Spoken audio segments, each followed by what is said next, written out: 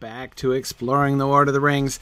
My name is Corey Olsen, the Tolkien Professor, and I am delighted to be back with you again this week. Uh, sorry, I'm a little later than usual. Uh, lots of lots of stuff going on. It's been a really busy few weeks here uh, in the Signum University world. Uh, but anyway, we are here now and excited to get back near, but not quite onto Weathertop. Um, before I started tonight, one quick announcement because we've got a deadline that's coming up fairly soon uh, that I wanted to make sure everybody was aware of, and that is our next. Uh, our next moot, our next regional moot, uh, and that is in Northern California in the San Francisco Bay Area. Uh, this would be my second trip ever to the San Francisco Bay Area. Can't wait to get back there. Um, and um, Anyway, so uh, if you go to the Signum University website, which this is, and you go down just a little bit, these are all of our upcoming events. So you can see, hey, look, there's Middlemoot in uh, Missouri near Kansas City there, uh, which is going to be in the beginning of October. So you can see all the information there. But Baymoot is the one that is coming up soonest. Uh, so we're going to click on here. So you can see it's going to be at Mills College uh, there in Oakland and you can this is the registration link where you can go. It's only 40 bucks a person.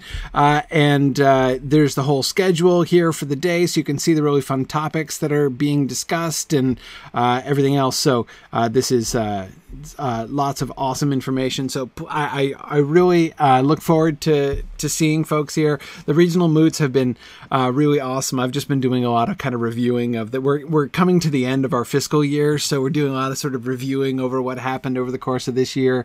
Uh, and certainly, you know, as we're planning for the coming year and everything, and certainly our regional moots have been one of the highlights for me uh, of this past year.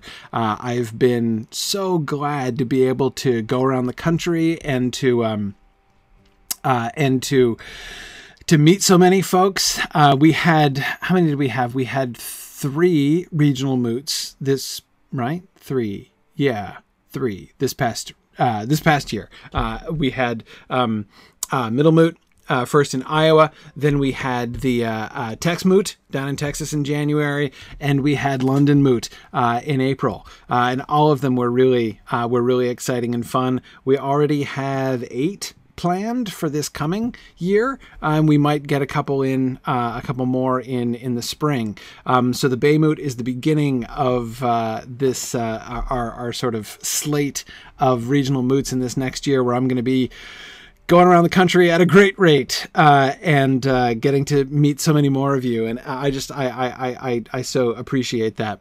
JJ's asking when Kiwi Moot is. Yeah, we're working on that actually. And if there's anyone uh, in New Zealand who is listening, I don't know if you'll be listening live as it's an inconvenient time of day over there. Well, I mean, I guess it's not that inconvenient. Uh, not as inconvenient as it is, say, in Europe right now. Um, but in any case, hey, anyone in New Zealand who wants to help us uh, host one, I am ready. I would love to plan one. Because, in fact, of course, one of the difficulties, one of the challenges of scheduling these moots is uh, working around the weather. We don't want to uh, schedule uh, a moot in a in, in a, a, bad location in a you know questionable winter weather area uh, and stuff so you know the southern hemisphere kind of attractive actually right? To do like a nice early december moot you know down in new zealand i'm feeling it you know? I think that would be really good. Uh, so um so yeah we'll we'll see right? We'll see how that goes. But i, I i'm i'm open. Again like new zealanders talk to me. Let's work on this. Or, or australia. I'd love to go to australia. Never been to either place. Would love to go. That would be awesome. Um uh so anyhow uh, Marianne asks, any plans for the Pacific Northwest? Tentative ones, actually. Yes, we're working on we're working on Seattle. Uh, that's something, and uh, maybe maybe spring next year. Not quite sure. Um, but um, but anyway, yeah, we're we're uh, we're um, we're definitely thinking that that's not one of our scheduled ones so far, uh, but it's we're definitely thinking about it. O'Malley would like to do Florida. Orlando would be would be an excellent location and a good uh, winter weather up here in the Northeast uh, location there as well. So, um, yeah. Anyhow. Um, yeah, no, so we're definitely, definitely open and uh, open to these. Anyway, so this is this is this has been so much fun But up next, as I say, Northern California, and the registration deadline is coming. Registration is open through the end of July, so there's only a couple weeks left uh, in which to uh, in which to register. So any of you who are around there in the in, in the nor- in, in Northern California, uh, I really hope to be able to see you. I know we've got a lot of uh, a lot of listeners and uh, uh, you know people who've been following the podcast for a long time who are in California. So definitely, uh, I definitely look forward to that. Excellent. I see uh, I see a couple of you here who are coming. Veronica here in the Discord chat. Gladys up there in the in the in the Twitch chat definitely coming to Baymoot. That is awesome. I, I can't wait to uh, can't wait to meet you. So still plenty of spots. Uh, definitely would love to see you at Baymoot if you can make it out for the day. Um, as you can see, it starts at like nine o'clock in the morning and it ends at four o'clock in the afternoon. It's just a one day event. You can just sort of drive in. It's uh, uh, it should be you know should be relatively easy. Um, and or if you're coming in uh, uh, and gonna you know if, if you're uh, in town or or, or nearby um, the day before as well. I'm thinking of doing. Um, uh, and I like to. Do, we've done this at a couple other moots, and I, am thinking of doing this again. I'd love to do a kind of an informal, uh, just kind of hang out and get together and chat. Uh, uh, uh you know, have dinner together the night before, the Friday night before. Um, still kind of working on that. Zephin, it's interesting you mentioned Cincinnati, as actually uh, we have a couple volunteers who are trying to put together an Ohio moot. Actually, that's uh, that's a thing, which is definitely in process. Actually, so yeah, we're definitely definitely thinking about that. Um, so uh, yeah, awesome. Anyway, so please do, please don't forget and tell your friends. Come down to Baymoot. Baymoot is next, and then we're going to be continue i'll continue to progress around the country. Uh, and uh, we will have more and more of our awesome fun uh, uh tolkien. And not just tolkien of course. These moots are not just tolkien conferences. These are you know uh, uh, you know places where people are discussing i mean they're really designed for all of our sort of our broader mythgard and signum interests. So you know people who are interested in medieval literature people who are interested in other fantasy and science fiction you know stories and either film film or or, or books um, are you know presenting and, and are welcome to present things like that. So it's it's it's it's sometimes people because I'm like there, you know, and I'm the Tolkien professor. People get the impression that this is just a Tolkien thing, right? It's not just a Tolkien thing. Uh, these events, we do talk a lot of Tolkien there, and obviously I enjoy doing that, but it's not the only focus of these events. Um, so, all right, let's um, uh, Yes. Oh, and uh, Evil Doctor Canon Tex Moot is going to happen again, I believe, in January. Um, the uh, I was just talking briefly to the organizers who are starting to uh, work on the plans for Tex Moot 2. So yes, Tex Moot definitely happening again. That's uh, still holds the record for our uh, our, our largest attendance. Um, uh, at, uh, uh, at any regional moot so far. Texas, believe it or not, uh, is uh, biggest so far. We'll see though. I don't know. L.A. Moot is uh, is gunning for it, so uh, so we'll see. Um, anyway, okay. Um, yeah, even attendance is bigger in Texas. That's just it. Okay, so anyhow, um, so we're gonna we're gonna we're gonna we're gonna do this. I'm not sure exactly where, by the way, in Texas it's gonna be. I think um, it was in Fort Worth last year. I think that there's a uh, there is a conspiracy on the part of Sørina Higgins, our, our language and literature department chair at Signum, to to to move it down to Waco. She's at Baylor down there, so I think it, may, it might end up being around there. Um, so a little further south, maybe either Waco or, or towards Austin, something like that. It's, I think, but I, but I'm not really sure. It's not it's not settled yet. Um, anyhow but as I say, Baymoot. That's that's what I was that's what I was announcing. So do make sure uh, that you remember registration deadline end of July. So August 18th is our day. Please do remember to sign up and come because it's going to be awesome. Now, let us get back uh, to. Uh, our discussion for this week of prominent hills and broken swords. Uh, we're going to continue looking at uh, this sort of thread of Aragorn's interest in Weathertop is something that I'm still tracing and still examining uh, throughout this um, um, throughout this whole section. So. Um, Okay, so I'm going to um, one quick note, and I just got this this evening before class on Twitter uh, from Tom Hillman, and he just nailed it. You know, this some of those times when when you hear when somebody um, uh, when somebody sub, uh, uh, gives a reading, right? And it's just like as soon as you as soon as you hear it, like as soon as you hear the person's explanation, you're like, boom, like that's it. Like that's of course that's it. Like why did I never um, why did I never see that before, right? Why did I never think of that before? Uh, Tom Hillman totally nailed it.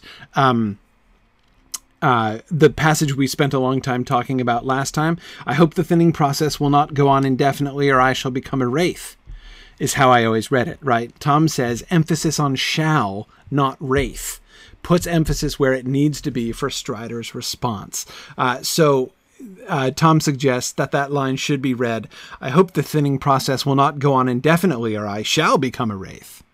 And that's exa- that's it. That's exactly it. As soon as he said that, I'm like, yeah, of course. And that's why Strider jumps in and says, "Do not say such things." Right? Um, and um, yeah, yeah. So I think that's that that's exactly right. it's I I definitely think as you know as I as I was saying last time, Strider is not this is not a name the devil and he will appear kind of situation. This is Strider focusing on Frodo's own will, right? Don't give in to that. Don't even joke about it, right? Don't uh, don't acclimate your own mind to this idea of your becoming a wraith. You need to keep your resistance at 100% to the concept that you are ever going to become a wraith, right? And and Tom's exactly right. If you do put the emphasis on shall, right? I hope the thinning process will not go on indefinitely, or I shall become a wraith right? Shows it's it's not just that he's making a joke about becoming a wraith. When you when you say it that way right um, it suggests that Frodo's already been thinking about becoming a wraith right? Like that he considers becoming a wraith as one of the likely things that's going to happen to him right? You know you it's almost like you could you could uh, sort of parenthetically add you know or i shall certainly become a wraith, or I shall, or I'll definitely become a wraith, right? Um, as if in the back of his mind, again, he's entertaining the idea, right? Um, and so he's still joking, right? I mean, he's joking about weight loss, right? It's not, he's not serious, and yet again, it does betray uh, a really um, a potential weakening of his resolve, like just a tiny little chink uh, in the in the wall of his of his will but that I think is what Strider is picking up on. So so yeah, I just again, and and this is not the first time I've had this experience uh, with Tom Hillman's suggestions. Uh, you know, Tom is such a good reader, so uh, thanks, Tom, for that. I, absolutely, you completely nailed it. Um, yeah, yeah. Now that's a very interesting point. Um, a trifle Sauron fancies uh, is the uh, username here. So trifle um, says the only problem I have with this is giving up all hope is exactly how Frodo responds consistently and arguably how he gets through Mordor. That is very true, and the the question of hope and hopelessness that's going to be a major theme that we're going to be looking at, especially once we get to book four, right to the Frodo and Sam uh, uh, half of the Two Towers. Um, so, because that's I agree that is a super interesting and complicated thing to look at. Uh, you know, it's it's very it's, it's sort of you don't have to read the book very many times before you see that hope is a is a really important theme, right? And yet you can read it very many times and still have, I think, the full complexity of that theme um, get past you. And I'm not sure that I myself fully understand it yet. So I'm really looking forward to taking our time and working through that uh, in detail. So we'll totally get there, but I'm not going to worry about that quite yet. Uh, Trifle, if anything, we can look at this as kind of an early piece of data, right? That we might want to come back and remember this exchange between Frodo and Aragorn when we do get there, and we look at you know when this becomes a bigger issue for Frodo on his approach to uh, uh to Mordor. Um. Okay, good. Um. All right, so uh, yeah, no, Emma Thorne, you're right. Uh, he uh, uh, Strider's not warning them that they better feed Frodo. No, it has nothing to do with it. Frodo's actual girth here. Um, okay, cool. So, thanks, Tom, for that. Let's get back to the text now. The hills drew nearer. They made an undulating ridge, often rising almost to a thousand feet, and here and there falling again to low clefts or passes leading into the eastern land beyond. Along the crest of the ridge, the hobbits could see what looked to be the remains of green grown walls and dikes, and in the clefts there still stood the ruins of old works of stone. By night they had reached the feet of the westward slopes, and there they camped. It was the night of the fifth of October, and they were six days out from Bree. In the morning they found, for the first time since they had left the Chetwood, a track plain to see. They turned right and followed it southwards. It ran cunningly, taking a line that seemed chosen so as to keep as much hidden as possible from the view both of the hilltops above and of the flats to the west. It dived into dells and hugged steep banks, and where it passed over flatter and more open ground on either side of it, there were lines of large boulders and hewn stones that screened the travelers, almost like a hedge.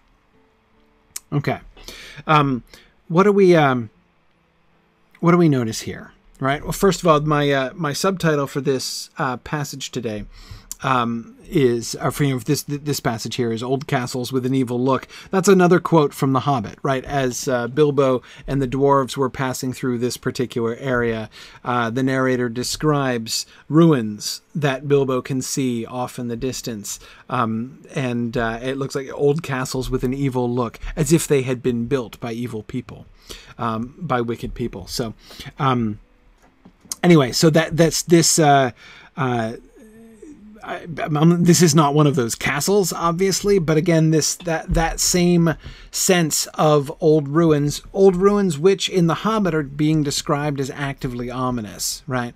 Um, it's it's clearly one of those kinds of things, anyway, that they are that they are nearby here. Um, yeah.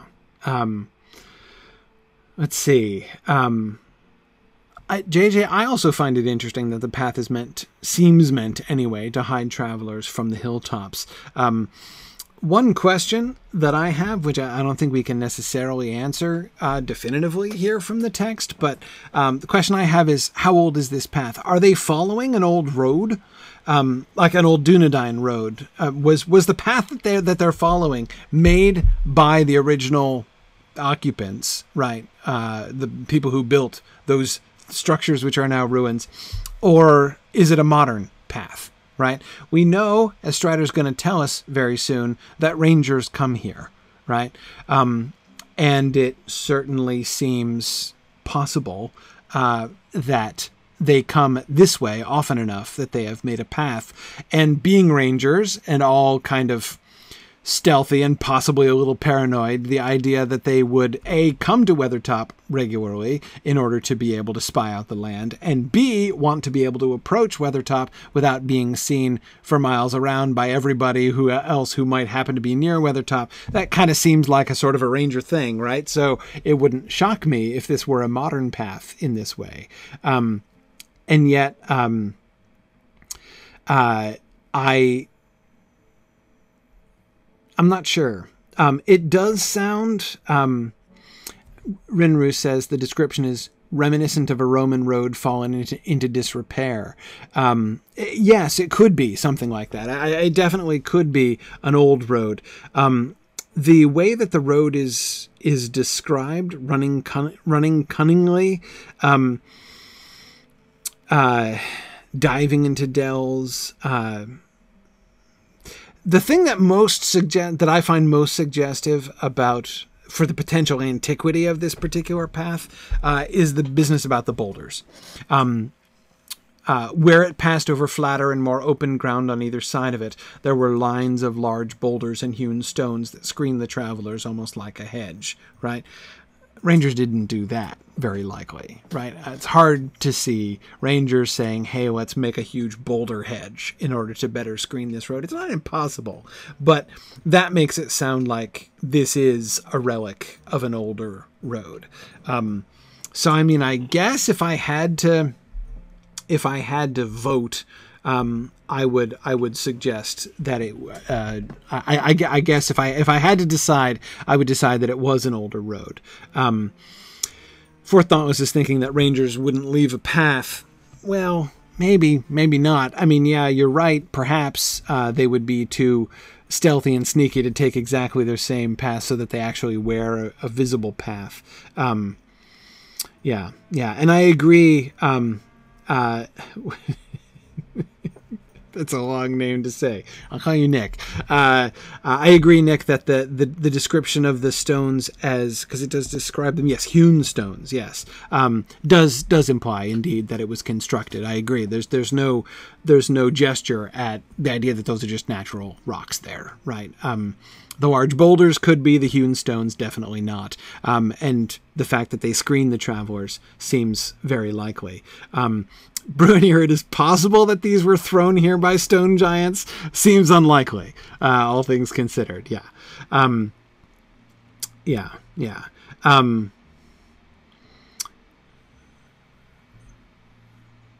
yeah, good. Let's see. Um,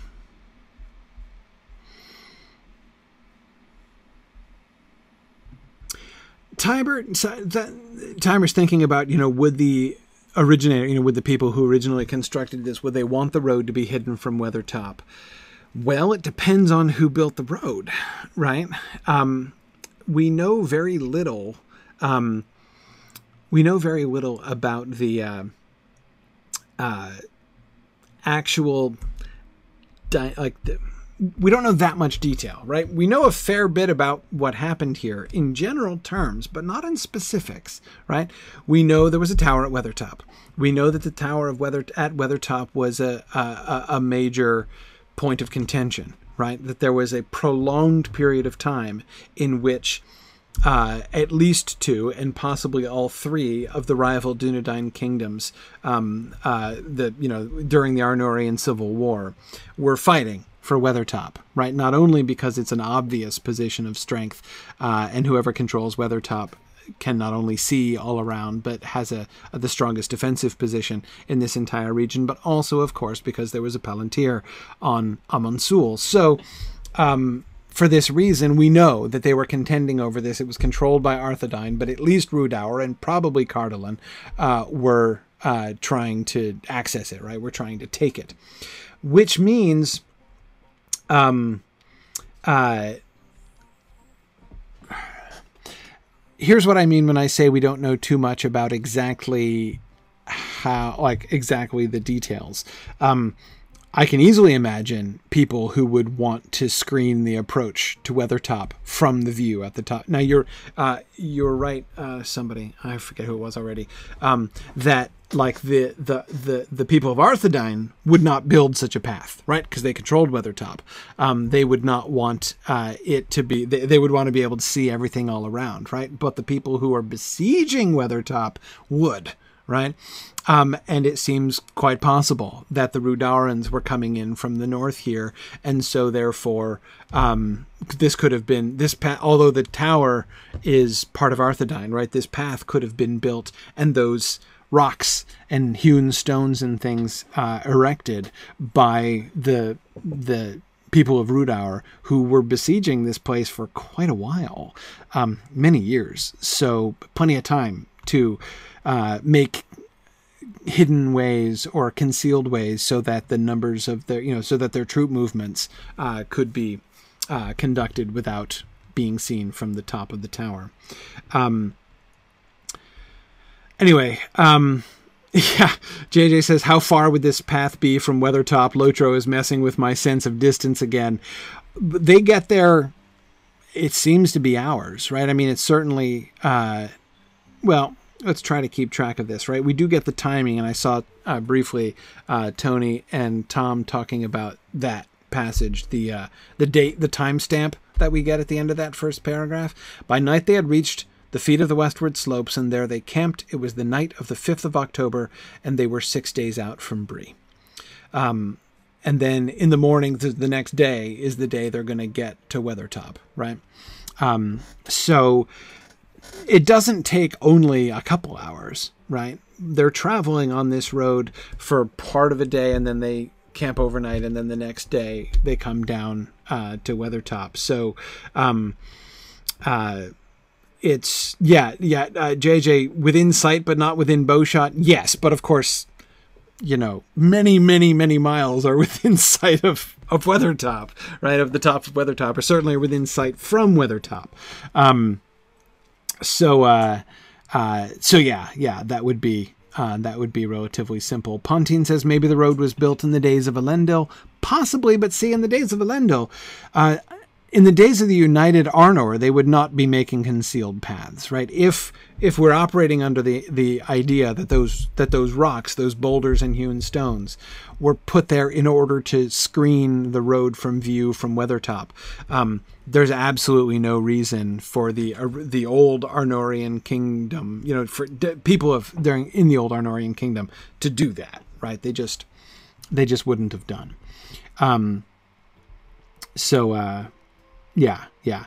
Um, wasn't the last fall of Weathertop uh, uh, through the Angmar conquest. Yes, yes, Rhudaur and Angmar. Um, yeah, the final battle really of that, you know, the sort of the final fall of the Arnorian kingdom was at Fornost, um, uh, which of course we already saw in game a while back. Uh, we toured that.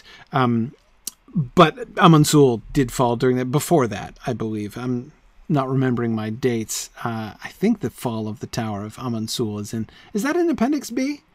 I think it's in Appendix B. I'm not remembering exactly. Somebody look it up in Appendix B and tell me uh, the distance between the fall of if the fall of Tower of the Tower of Amon Sul was mentioned. I can't even remember that for sure if that's there. But if it is, tell me that what's the time gap between the fall of the Tower of Amon Sul and uh, the fall of Fornost. Um, yeah. Um, anyway, okay. Um, and yes, Rinrus, you are right that the main road uh, would have been presumably the older Arnorian path. Yes, exactly. That would have been. It probably would have been by the the main road uh, that Elendil would have come to Amon Sul. Right. So, yeah, yeah. Um, he wouldn't have gone this roundabout way. There was no need. Right. There was no. Um, there was no conflict. He was in no conflict with anyone in these in these areas. Okay, so third age 1409. Tony is when that's the fall of Amon Sul, is it? Okay. Um Okay. Okay. Um Cool. All right. Um Okay, right. 1409 during the fall of Cardolan. Okay. Okay. Interesting. Yeah, I, I, need to I need to go back and review those dates. Appendix B is great reading. Um, when you're looking for particular things, right? That's the thing. It's the problem is that I find reading through Appendix B, so you just get overwhelmed by numbers, right? And it's hard for me to, uh, you know, when I'm just kind of so like I'm going to read Appendix B. Um, it's it's really hard to latch onto things. But when you go hunting for things, it's really really fun. Fornost falls in 1974, right? Of course, of course, I should have remembered that the year of my birth. So, uh, not third age, 1974. But uh, anyway, yeah. So that one always sticks out to me whenever I see it, but I always forget. Right. So 1974. So goodness, yo, holy cow, yeah, 500 years. 500 years before the fall of Fornost. Um, yeah, absolutely. Um, yeah, yeah. Um, yeah, cool. Okay. All right. So 500 years. So absolutely. Um, uh, that's really interesting. Um,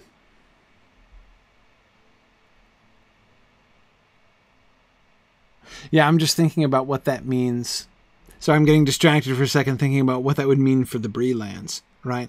As presumably with the fall of Amon Sul, uh, and we know that the Palantir is then taken up to Fornost because, of course, that's why uh, King Arvedui has both of them, right? The um, the the one from Annúminas and the one from uh, Amon Sul with him when he goes uh, up to Forochel in the north. Um, but um, anyhow,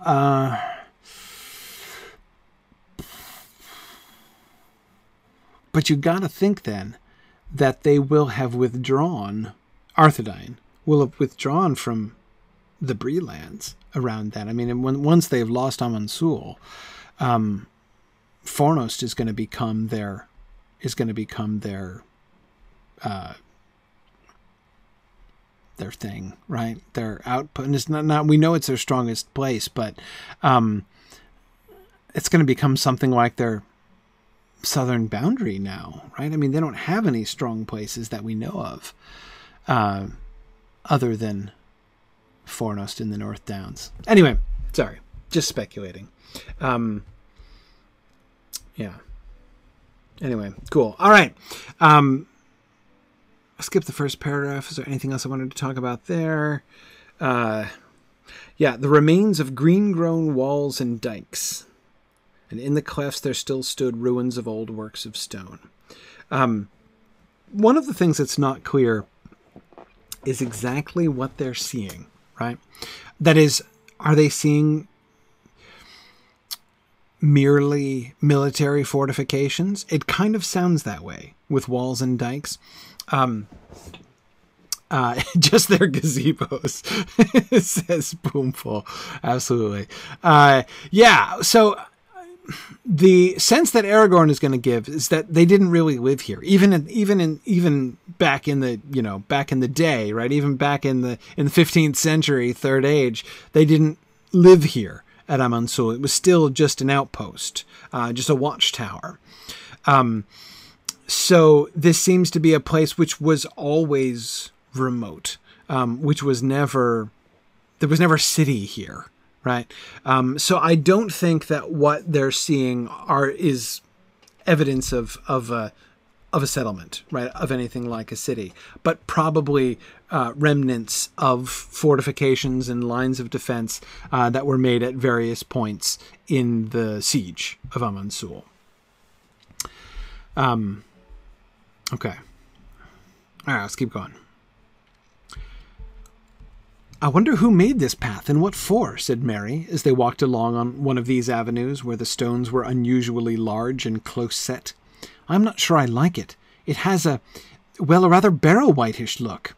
Is there any barrow on Weathertop? No, there is no barrow on Weathertop, nor on any of these hills, answered Strider. The men of the West did not live here though in their latter days they defended the hills for a while against the evil that came out of Angmar. This path was made to serve the forts along the walls. But long before, in the first days of the North Kingdom, they built a great watchtower on Weathertop. Amon Sul, they called it. It was burned and broken, and nothing remains of it now but a tumbled ring, like a rough crown on the old hill's head. Yet once it was tall and fair. It is told that Elendil stood there, watching for the coming of Gil-galad out of the west in the days of the last alliance. Okay. Um, so here's Aragorn confirming what I was just referring to, right? The men of the West did not live here. One interesting little thing here. Notice first Merry's observation, right? Merry looks at all these ruins and he says, This has a rather barrow wightish look, right? He doesn't like the look of this place. Um, and it's interesting. I'm not really sure what exactly Merry means by that. That is, does this mean this looks like the ruins of you know construction from an era like these are they look they remind me of the standing stones back in that we saw in the in the barrow downs um, is there something about them that looks like it might be made by the same kind of people i mean how detailed is merry's uh, uh, is merry's observation here it could be nothing other than we've been in apparently barren places uh, barren hilly regions where there were lots of like random monoliths and standing stones around, and that was bad news, right? Um, have we put our you know head in the same kind of noose again? It might be really uh, just as um, just as simple uh, as that, as Boomful says. That could be Merry's only other example of large hewn stones, right? Um, and you're absolutely right, Bruinier, that Merry doesn't have that much frame of reference uh, to compare it to. Um, but uh, but yeah, I, I and that's the thing, uh, Trifle, is that yes, the people of Cardolan did hole up there in the Barrow Downs and used the barrows, but uh, the Barrow Downs predate the Kingdom of Cardolan pretty significantly, right? It's the, the it was made they were made by the original uh, re- residents of that land before the Dunedain came back. So, um, in fact, what Merry is probably it seems very doubtful that very many of the standing stones uh, in the Barrow Downs were put there by Dunedain. Um, presumably, they predate the Dunedain, um, and so what he's looking at here is old, right? It's legitimately old. He's looking at at least. I mean, if if we're if if we are right in thinking that these hewn stones and and and thing, you know, the uh, unusually large and close set stones that they're walking along next to at this particular point, if we're right in dating those to around that time, right to the time of the siege of Amon Sul, uh, back around 1400 ish, um, then they're old, right? You know, these are 1500 year old stones. Uh, so those would be, you know, like Anglo-Saxon barrows to us, right? Date, you know, just years, number of years wise. Um, and yet, uh, that's way younger than the standing stones in the Barrow Downs. Now, again, Merry has a relatively limited experience. Uh, really old rocks look like really old rocks, right? Um, but but I wonder, right? Um, you know, Matt says he could also be getting the Angmar vibe associated with the conquest of both places. Yeah, and of course, I can't help I can't forget that it was Merry who had the close encounter there in the Barrow Downs, right? It was Merry who had that encounter with the memory of the presumably old Cardolan prince, um, whose barrow he shared and in which he almost took up permanent residence. So um, it's possible that he is picking up on that he's doing more than just casually saying, "Hey, look, big cut stones. I've seen those before in the Barrow Downs." And it's possible that he's even doing more than saying, "Oh, I note there are some cultural similarities between you know these stones and the stones that we saw at various points in the in the Barrow Downs. Um, they were presumably there's a there's a cultural link between those people. It's possible that he's picking up on something more." Uh, uh, I don't know what spiritual, right? It's possible. It's possible. Oh, hi, Dane. Um, cool. Yeah, yeah. Um, so it is also well. I wonder. I wonder. Um, yeah, uh, Blancsman said it's cool that his vision now almost acts like a memory for him near Weathertop. Um, yeah, yeah. I, um,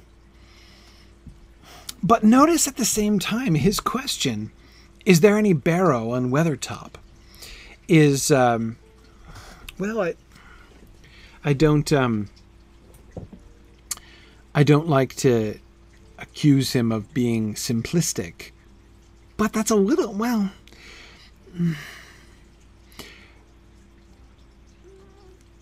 Nah, it's not fair. If you're only experience is the Shire and the Old Forest and the and the Barrow Downs, right? Uh, and you're seeing these ruins and these old stones, and you see the one prominent hill. The barrows were on hilltops in the Barrow Downs, right? So, I guess it's not a silly question to say, is there any barrow on Weathertop? And I'm trying to remember what they have been told, and if they have been told anything yet um, uh, um, Strider here is is saying, uh,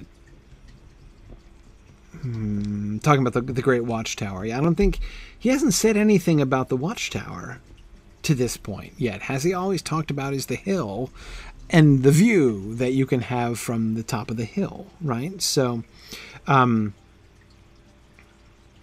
yeah, yeah. Um,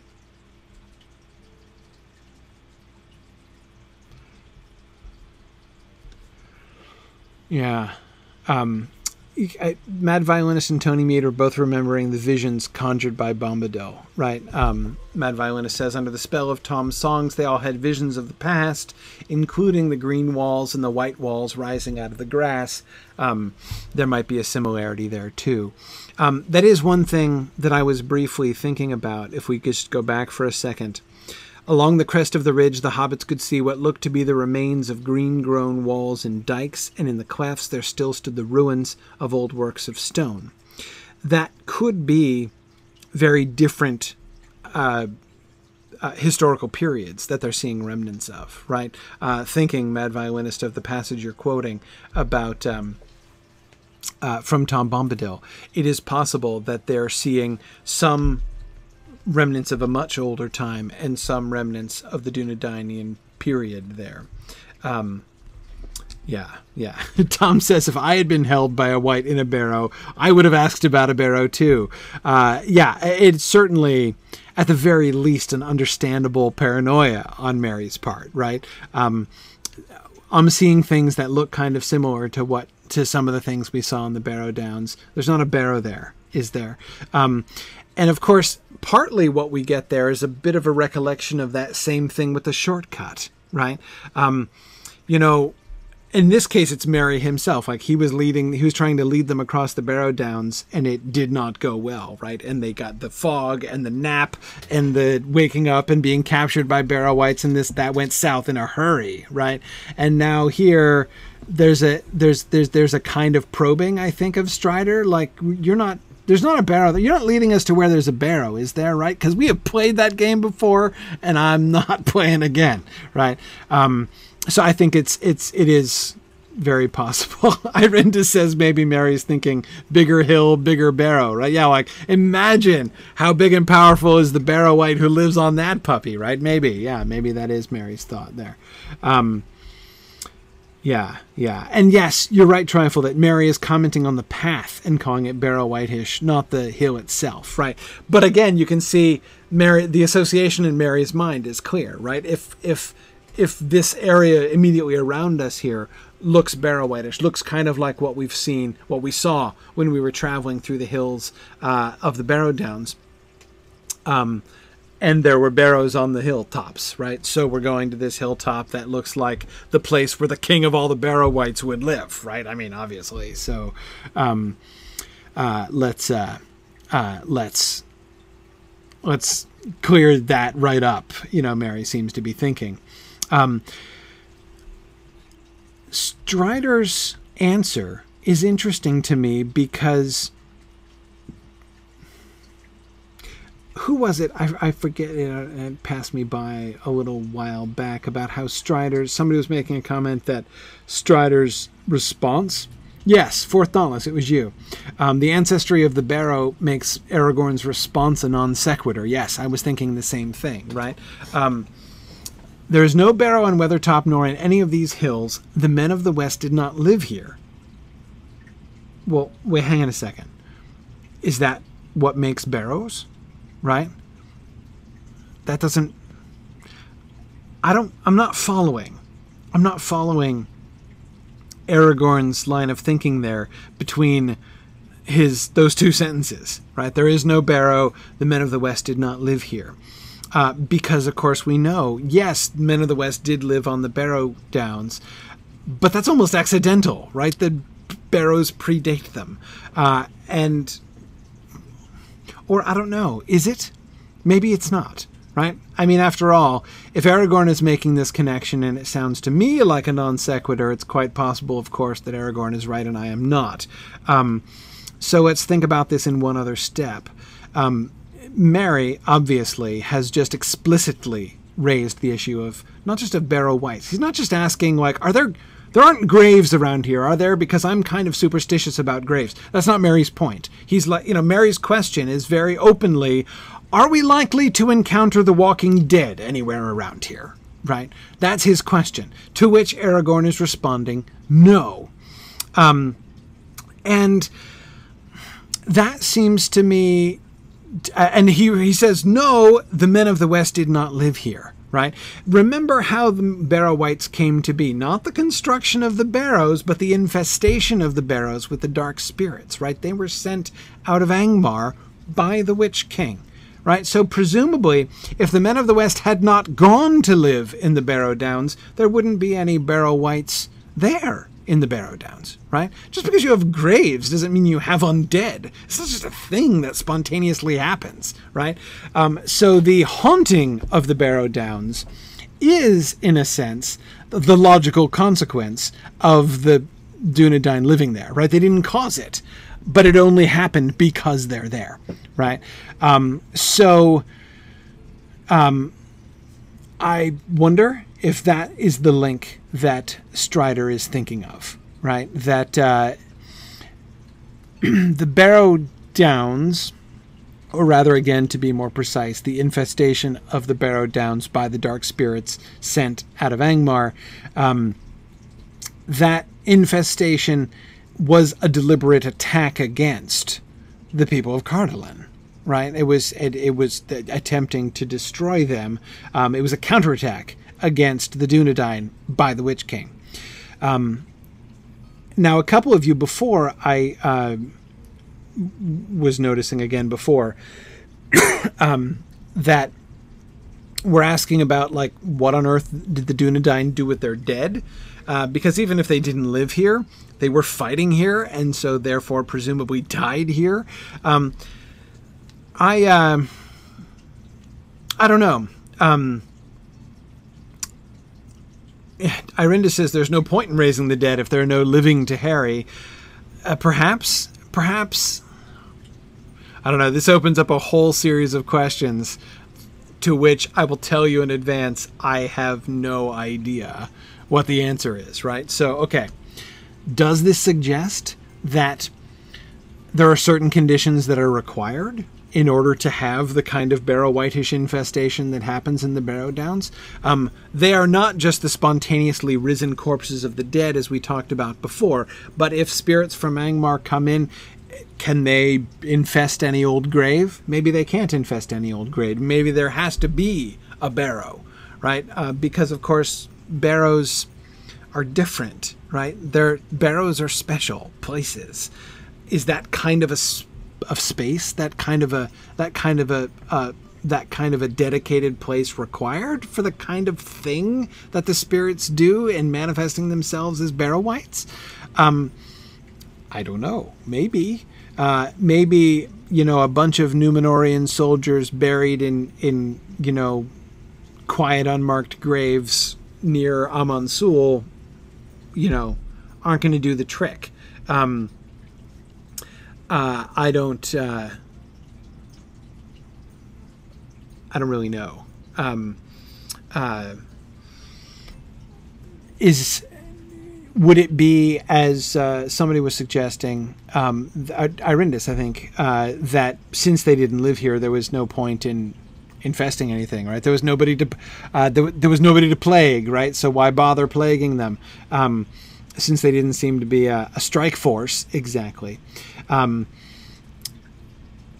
but I keep going back to the Barrow Downs. I think of I keep thinking of Tom's words. Um, how we're told that the spell of the mound will be broken and the barrow Wight will never be enabled to return right again that's what i mean when i say there's something about this spot right it's not just a wandering spirit looking for a corpse to animate right and it's like hey found a moldering corpse i'm in business right that does not that is not how the barrow wights work right? Um, there is a spell laid on this place, on that spot, on the barrow itself, um, which connects the barrow wight to it, such that even if that barrow wight is banished by Tom Bombadil and sent off to we're not quite sure where, um, possibly the gates of night, possibly not, um, then um, uh, still another barrow wight could in, could take up habitation, right? Unless the spell on the barrow is broken. Um, so, um, uh, yeah, exactly. Uh, so, Lincoln, I, I, I, do think it's important to note. He said there is no barrow on Weathertop nor on any of these hills, right? Um, perhaps if the men of the West had lived here, they would have made tombs right? And perhaps those tombs could be habitations of spirits that would make barrow Wights or tomb Wights or whatever. Uh, it's uh, that's possible that that's what you know, that that's the implication of men of the West did not live here. Um, but again, in any case, I, I, don't think it's about the question of the presence or absence of corpses. Did the Dunedain bury their dead here in non-tombs, right, just in the ground, and then therefore that doesn't give the Barrow-wights an opportunity? Did they send their dead home? Um, uh, we don't know. We don't know. Um, yeah. Uh, it certainly is possible, Mad Violinist, that Tolkien never resolved this question. Um, uh, yeah, yeah. Um, and maybe he contemplated an Arnorian origin for the Barrows. Yes, it is, of course, always possible that we are seeing a relic of a, an earlier stage of Tolkien's thought when he was imagining that the Barrow Downs were definitely an Arnorian construction, not predating the Arnorians, um, and that he added that later on. But if I'm remembering The Return of the Shadow, most of that Tom Bombadil stuff, the vision and all those things, I'm pretty sure. Um, one of you can maybe check The Return of the Shadow for me now uh, to confirm. But if I remember correctly, in the Return of the Shadow, when we first meet Tom Bombadil and do the Tom Bombadil section, um, which is way early, like Phase Three or something of the uh, of the early manuscripts, um, I think most of that stuff about the Barrow Wights is there. Um, so I'm pretty sure that the Barrow Downs concept predates the Arnorian stuff wholesale. I think. Um, because the whole the history, the later history of the kingdom of Arnor, very much predates it. I mean, there's no, there was only the vague. By the time we get to the Council of Elrond, there's only the vaguest sense. The first time we get to the Council of Elrond, there's not even a Strider, much less a Kingdom of Arnor. Right? I mean, there aren't even any men. Uh, you know, the part of Strider is played by Trotter the Hobbit with wooden shoes. So um, now, when Strider, when Trotter becomes uh, a man, right, he does become an old, you know, a Dunedain um, associated with them, and we do get the growth of a something like a northern kingdom, a northern city, anyway. Fornost, Norbury of the Kings, was originally like the whole where the Dunedain came up in the north and established their kingdom. So, in Tolkien's planning, in his in the story development process in Tolkien's mind, Tom Bombadil and the Barrow Downs vastly predate the Kingdom of Arnor. Uh, so I would be very surprised if it worked the other way around. I mean, if if he was thinking. Now, of course, it's possible that later on he's deciding to change it back and decide that now he's going to retcon it into into being an Arnorian construction. But um, yeah, Tony, exactly. The Black Riders originally were Barrow Wights. Um, absolutely, yeah, yeah.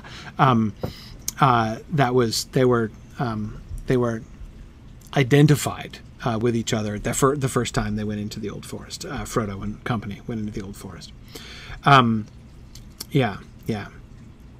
Um, and yet, Fourth Dauntless, absolutely. The idea of the barrows comes from the importing of Tom Bombadil. Uh, many of you, of course, will remember that in the poem, The Adventures of Tom Bombadil, where the character is developed, there's a barrow wight, right? The barrow wight, uh, you know, Goldberry, the Barrow wight, Old Man Willow, those are all original uh, uh, characters in uh, in the poem. So yeah, the idea of the barrow and the barrow wight is uh, is certainly uh, old. Um, even the description and placement of the barrow here um, is uh, a big interesting little side conversation here, wondering where Arathorn was buried, and uh, Ambrosius Aurelianus saying it's interesting that so little is made of uh, uh, of Aragorn's father or his grave. Yeah, it's true. Um, I'm tempted to kind of make something of that, actually. Um, that um, I would not. It would seem to me to fit. I can't think of any reason we have to believe uh, to any, any positive evidence to support this concept.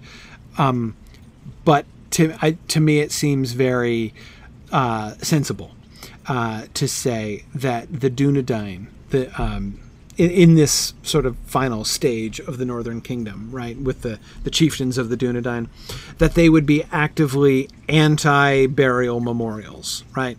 That's been a thing right? It's been a kind of a Numenorian issue for several millennia now, right? Back in Numenor, uh, we did the whole death and necromancy and embalming thing, right? And then in in the uh, at the you know in, in the decline of Gondor, they kind of did the whole necro thing and the elaborate tombs and stuff. So um, I would suspect if I were so like say if anybody asked me about uh, you know kinds of elements for Dunedain culture i don't know if you were like making a tv series about the adventures of young aragorn what i would tell them is i would have the Dunedain have d- deliberately simplistic burial rites. Uh, no uh, no big burial grounds or marked burial grounds or anything. I think that they would be sort of aggressively anti tomb, right? Uh, as sort of a part of the like learning from history. We don't want to go the way uh, of the others. Um, and Tony, it is interesting that we get Gilraen's grave, uh, but not Arathorn's. Yeah, Gilraen is buried in Rivendell, right? And so, therefore, presumably, her grave is marked uh, by probably by the elves. Um, but um, anyway, yeah. hey, Rinroos, I'm I am happy to bestow my ideas on anybody who's making a TV series about young Aragorn. I'd love to have as many conversations with them as they would like to have. Absolutely. no, that's a freebie. That's a freebie. No problem. Um, yeah, cool. Um, yeah, uh, Mike says the Dunedain have looped around past ancestor worship and are back on the symbolic high ground again. Yeah, in a sense. So it's though it's less about ancestor worship than about like paranoia about death, right? Um, yeah, yeah, and it's certainly true, Matthew, that the Rangers keeping a low profile would not have like a big prominent resting place. Um, uh, yeah, yeah. Um,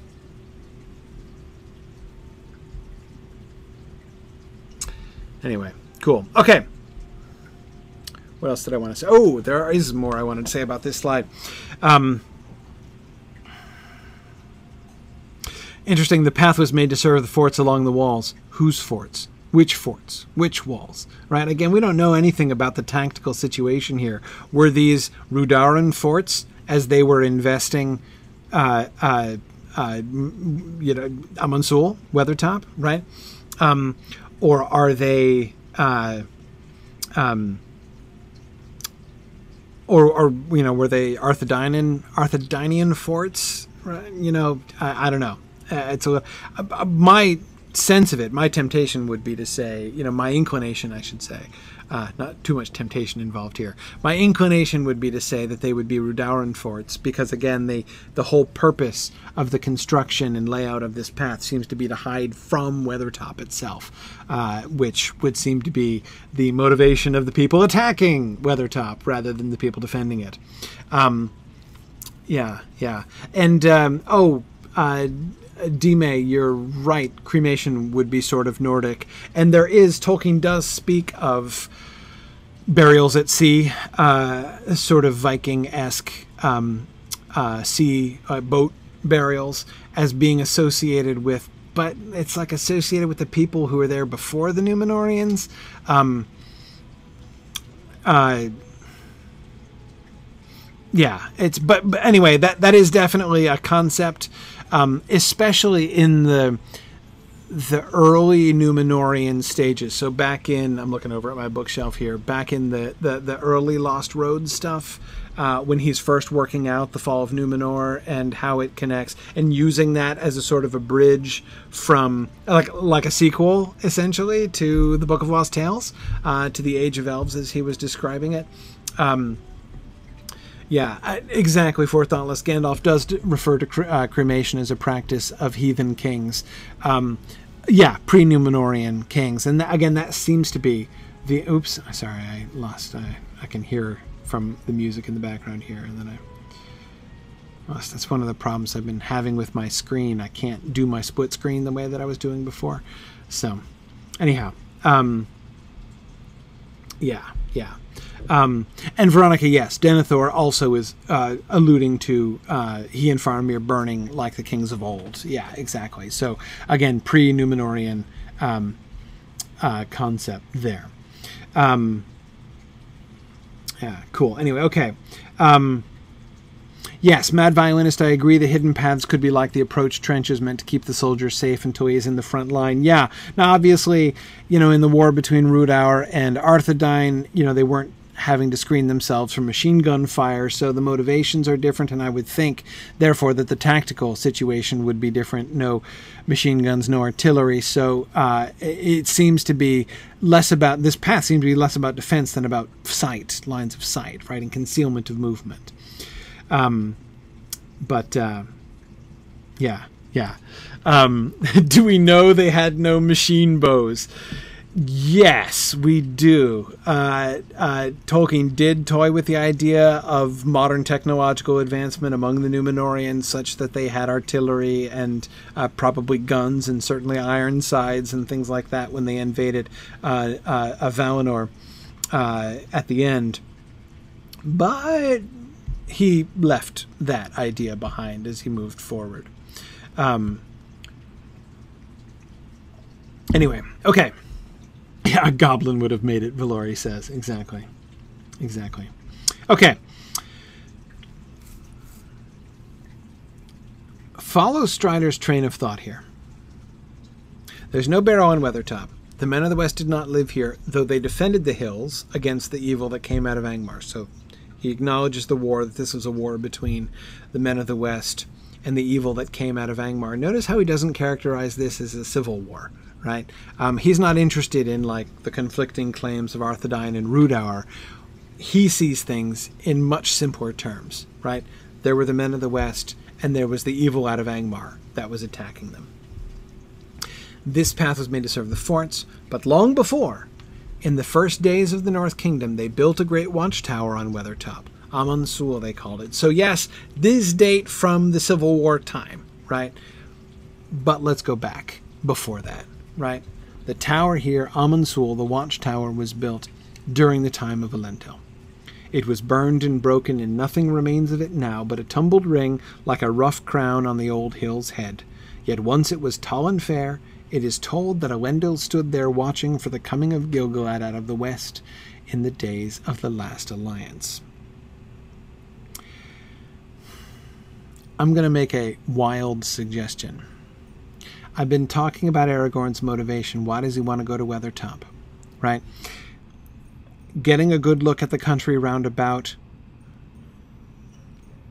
is a good idea, right? Sort of a good idea.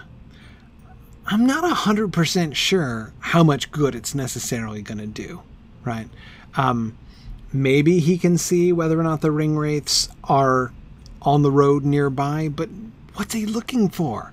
He knows they're after him, right? He knows they're going to be around. So, you know, I'm not convinced that, like, I must ascertain the whereabouts of the uh, I must ascertain the whereabouts of the the ring wraiths. I'm not really convinced that that's the chief motivation here, right? Um,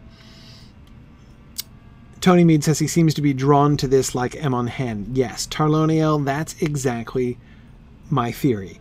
He wants to stand where Elendil stood. Yes, he's carrying Elendil's sword, right?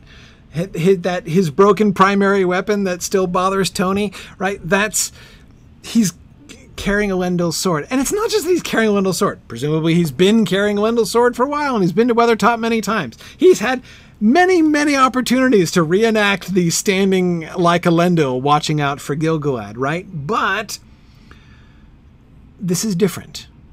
Oh, Bruinir, I, I, seem to be accidentally answering your question about how do you pronounce Gil-galad. I've always said Gilgalad. Um, Gilgalad might possibly be more accurate, but I've always said Gil-galad and I don't plan to change. Um, I think the primary reason that I've always pronounced it Gil-galad is for like alliteration purposes. Um, but I have to say, anyway, we'll come back to this actually in a little bit. Um, yeah, Mike, this is an important moment, right? Um, the, uh, this is an important moment in um, his career, Aragorn's career, right? But I, again, just a theory, very little backing, except again the point.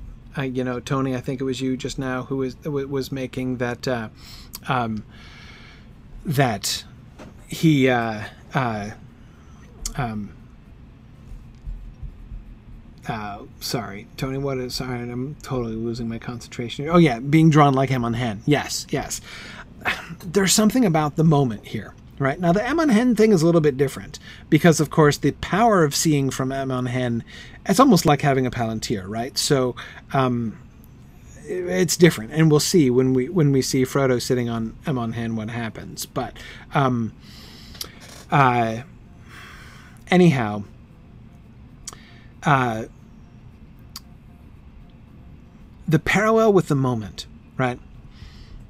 Yes, he's done the tourist thing before. He's been to Weathertop and doubtless had that moment where he's like, I, right now, am standing where Elendil himself once stood, right? And I don't doubt that young Aragorn, uh, that this was a big moment for young Aragorn, right? It could be something that happens in an episode in a TV series about young Aragorn. But anyway, um, it's this is not just a tourist thing, right? This is a moment at that time, right? The time of the the the, the Battle of the Last Alliance, right? This is not just, you know, like Elendil stood here. Elendil stood here watching for the coming of Gil-galad out of the west in the days of the Last Alliance right? When the last alliance was formed, this is the place that it formed. This is the place where Elendil and Gil-galad came together. It is from here, it is from Weathertop, right? That Elendil and Gil-galad set out for Mordor to take down Sauron. Okay? That is huge. He his whole adult life has been oriented towards this moment, essentially, right? The war on the shadow. And it's come. It's happening now, right? Now is that it's getting real now. And so he, and uh, notice also that, that why are they coming to Weathertop? What's been the excuse? What's been the rationale? Because they might meet Gandalf, right? Um, the the you know and that's it's it's a weak parallel in one sense right i'm going to be like elendil and gandalf's going to be like El, uh, gilgalad and we're going to get together and we're going to um but again there's a that i that the the parallel even though it's it's a weak parallel aragorn is not a or uh, Gandalf, and Neither one of them are like the lords of realms, and they're not going to come together and join forces and march triumphantly against uh, Mordor but nevertheless, um, there's still that. I think that Aragorn can feel the weight of this moment, right? He is now setting out on his final journey to, towards Mordor. He knows this, right? Frodo and the hobbits don't really know this yet, as we're going to see in a little bit. Um, maybe not tonight, maybe next time, but we're going to see it in any case, uh, and quite soon. The hobbits still don't understand where they're going and what they're doing right? They're still just trying to get to Rivendell. That was Plan A. They're still just trying to achieve Plan A, uh, you know, get to Rivendell. Uh, and they don't, even Frodo, don't really know what's going to happen after that. Aragorn knows. He knows. He knows what his destiny is, right? The ring has been found it is time. Now this is happening. We're going to be going to now the final war with the shadow. It's time for me to go back towards Minas Tirith. It's time for me to help in what ways I don't yet really know uh, to overthrow the shadow. This is the moment, right? And here he's trying to meet up with his ally at Weathertop. That sense of the historical parallelism right? That finally he is not just like a tourist standing on the place. You know, he's not just Elendil's heir carrying Elendil's sword, standing on the place that Elendil, you know, where Elendil once stood. He's now at a parallel moment in his story, right? Um, taking up arms against the enemy, and Tony soon effectual arms, right, against the enemy uh, and setting out for Mordor. Um, so I, I, I, I honestly, uh, I don't think I would have made this argument before, but as we've gone through and as I've thought through exactly how weak are the reasons for Aragorn to come to Weathertop, uh, this reason is has been kind of growing in my mind. Um, Tony Mead says that Aragorn often chooses the mythical over the practical. Yeah.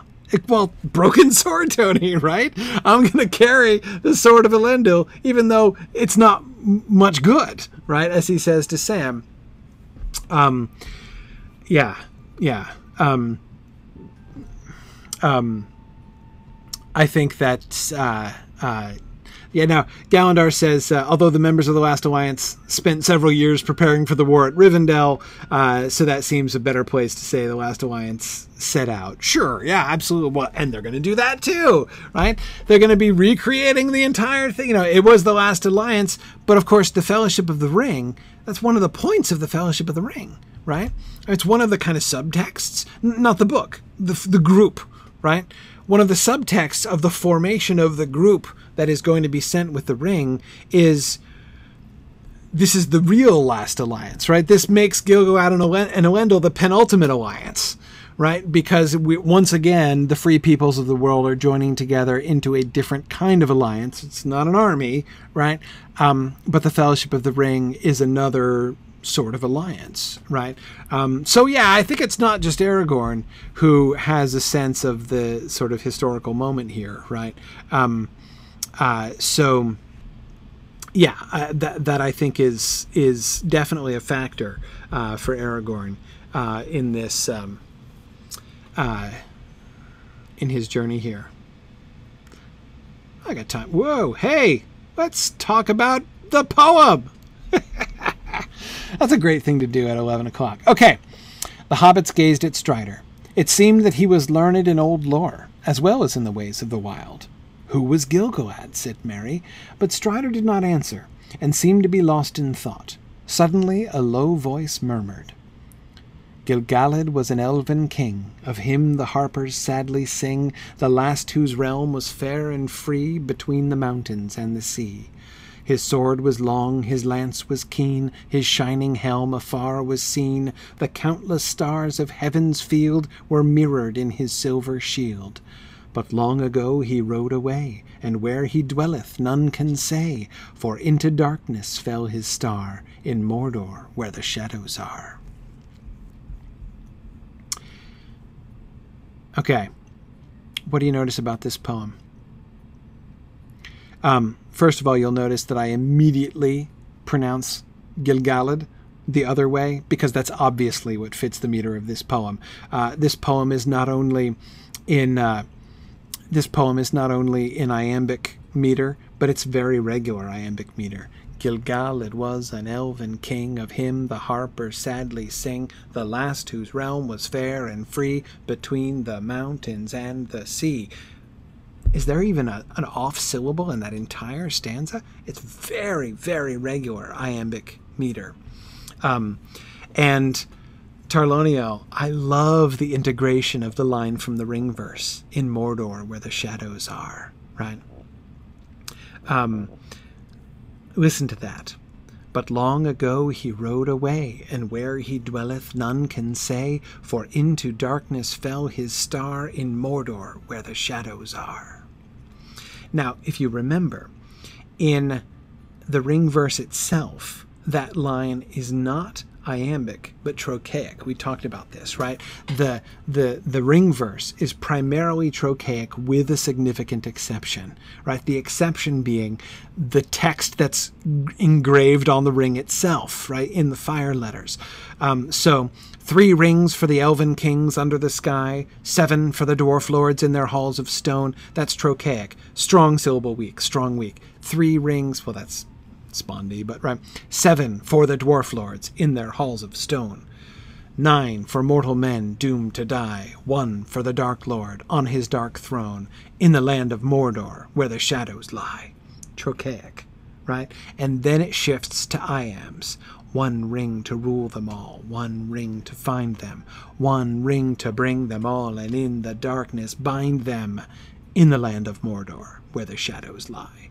And you can hear it, right? That those two lines are a quotation. That's what's carved on the ring, right? They're quoting Sauron there. They're quoting Sauron's evil iambs, right? Set within their trochaic lore poem.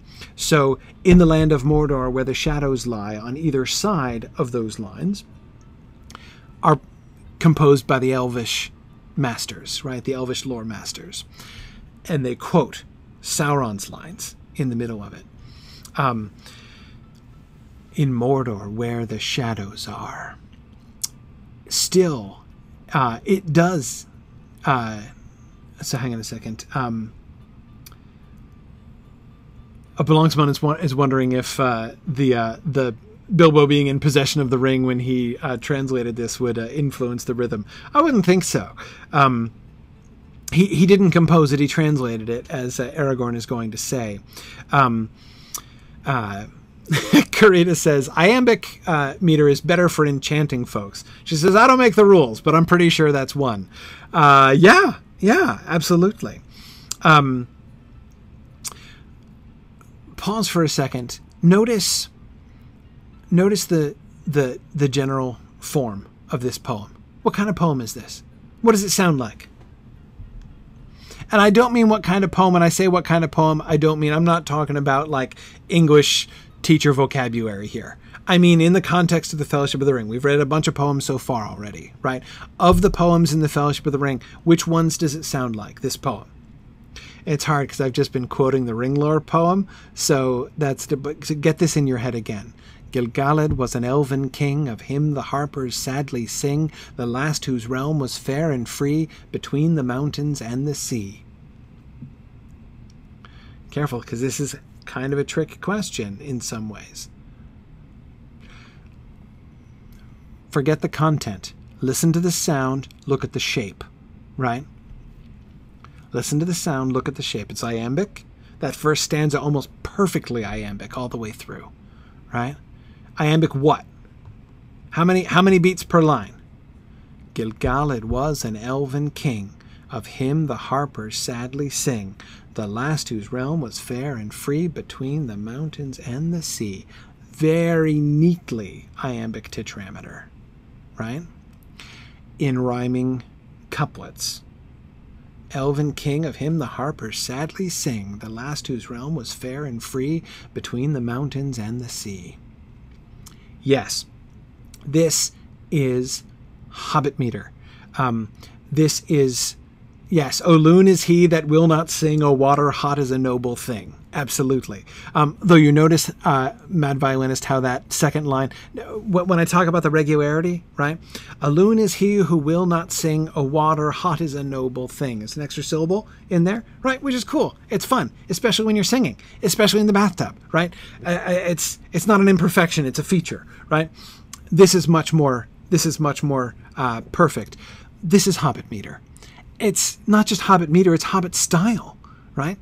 the content not hobbitish, right? It doesn't say, you know, on the one hand, this poem sounds like it's worlds away from, you know, uh, um, uh, the, I mean, like the walking songs that they sing, or the be- or the bath song, or the drinking song, right? Um, so you know, sing "Hey for the bath at close of day that washes the weary mud away." A loon is he who will not sing, right? Um, or ho ho ho to the bottle I go to ease my heart and drown my woe. Um, content very different, form almost exactly the same, right? Um, yeah. Uh, uh, Adamandir uh, says it's in Bilbo meter. Yeah, absolutely. It's in Bilbo meter. Um, this is Bilbo, it would seem, not only translating into um, common speech, right? He is translating into Hobbit style. Um, that's really interesting. I think that's really interesting. Um, and that seems to me very much what this poem is attempting to capture. Even the image, I mean, I don't want to make it sound like I'm trying to infantilize hobbits or that I'm accusing Bilbo of infantilizing hobbits, but it's very simple, right? Um, this sounds like not only a poem that you would sing among, you know, would recite to hobbits, um, but that you would recite to hobbit children, right? And come to think of it, that's exactly what happened, right? Sam heard this as a hobbit child, right? When he was being learned his letters uh, by, by old Mr. Bilbo, right? Um, listen to it, right? Um, Gilgalad was an elven king. Okay, so you need to learn this name, right? The name Gilgalad. The First thing to know is that he was an elven king, right? Of him the harpers sadly sing.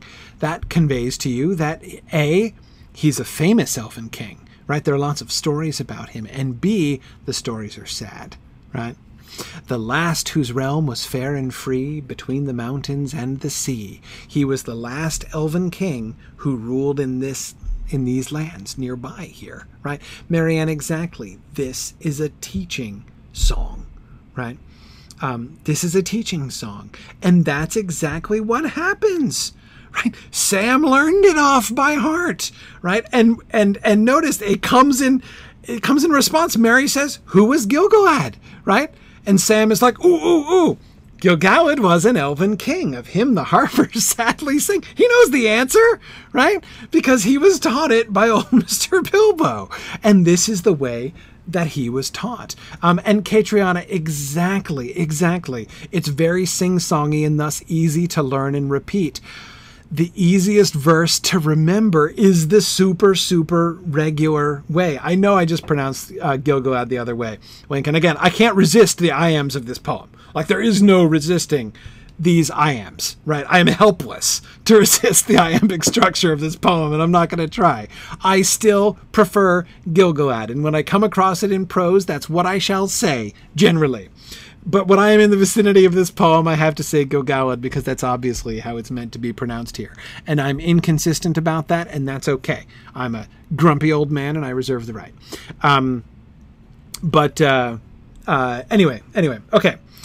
Uh, Sam has learned it off, right? But, uh, but going back to what Catriona was saying, yes, the more regular the meter is, the more sing-songy it is, the easier it is for the Hobbit child to remember, right?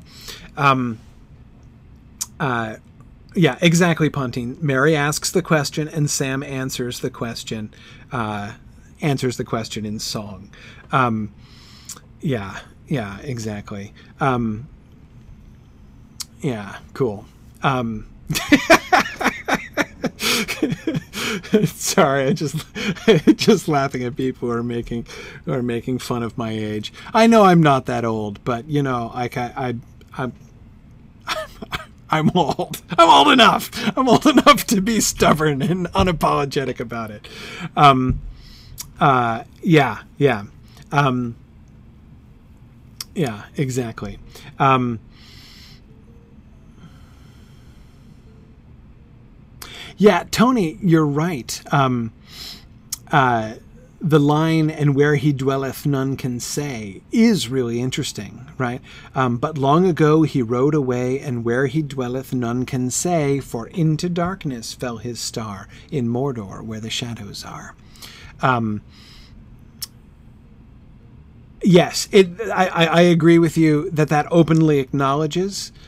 Uh, again, this is it's like an introduction you know, the Hobbit child's introduction to, um, uh, you know, immortality, right? Um, because uh, um, I am not sure, Mad Violinist, that I would call it sanitizing for young readers exactly, but it's it's it's sort of like we're not going to get into the in-depth theology of this question right now, but we need to acknowledge the fact that although elves can be killed, they're still around, right? So, I mean, if you said of a human, like an old human hero who had died, you know, where he dwells now, nobody can say you're just being evasive, right? Uh, probably, unless it's King Arthur, but generally you're being evasive if you talk like that. But not with elves, it's literally true, right? Uh, where he dwelleth, none can say. Who knows?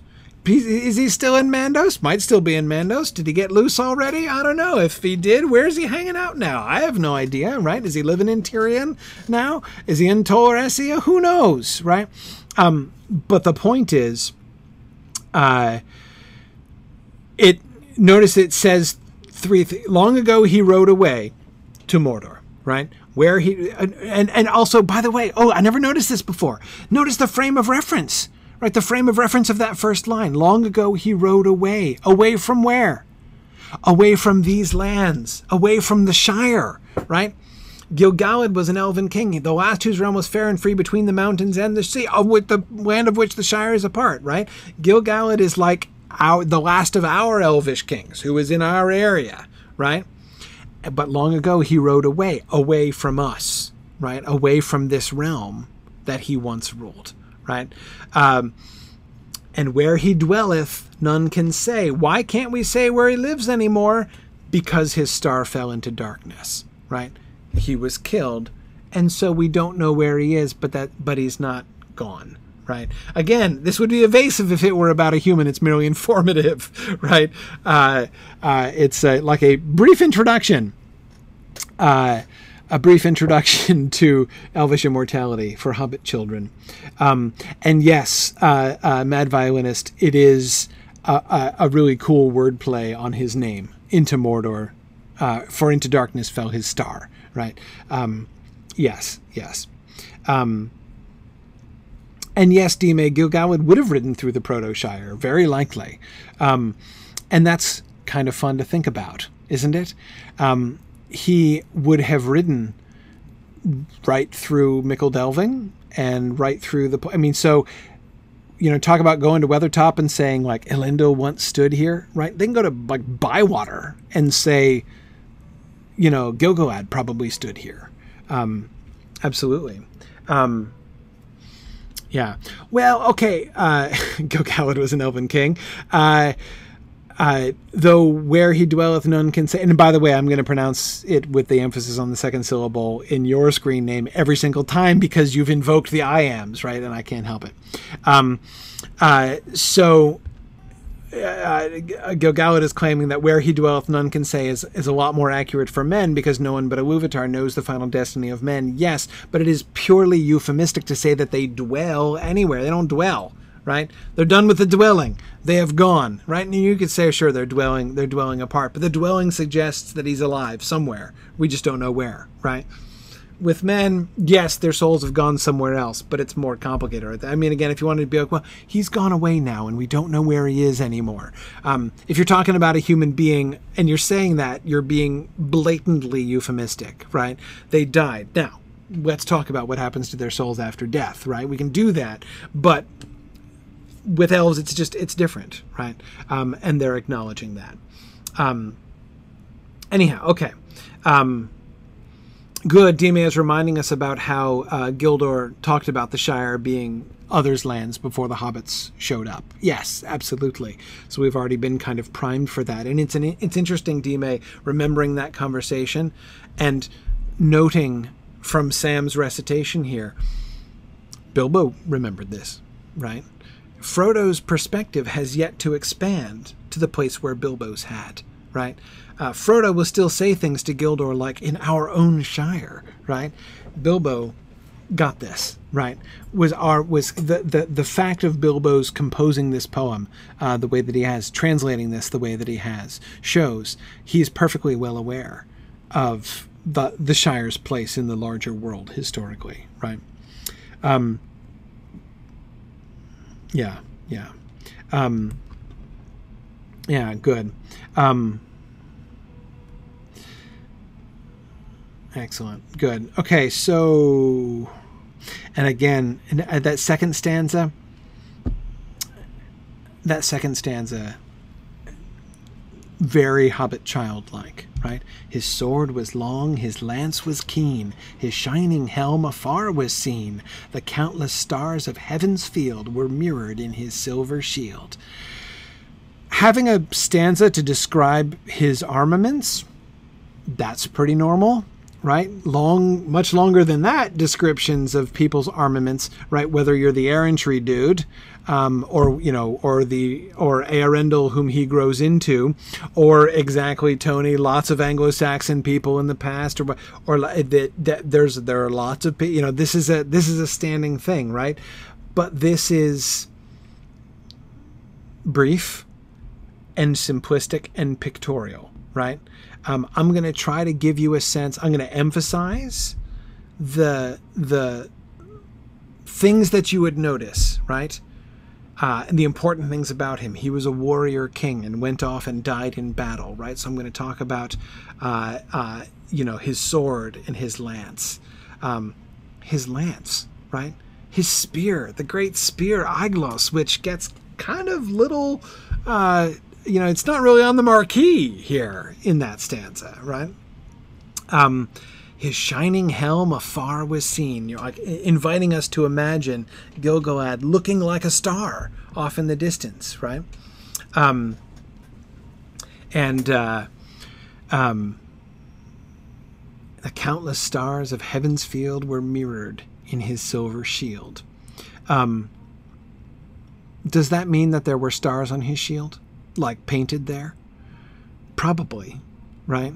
Um, uh, or does it? Or again, is this just a, a visual impression that like his spiel, his shield was so shiny that you could see, you know, that it would reflect all the stars of heaven? Um, possibly both, I think. Um, but um, anyway, yeah. Um, and then we talked about the long ago he rode away thing. Uh, so I think this is a really, really fun poem. Um, and a really, really cool glimpse into the kinds of things that Tolkien does with his poetry, right? This is why it's so important to pay attention, not just to the poems themselves, but to the sound of the poems, right? If you just look at the content, right, it's really easy to look at this and just be like, lore poem, right?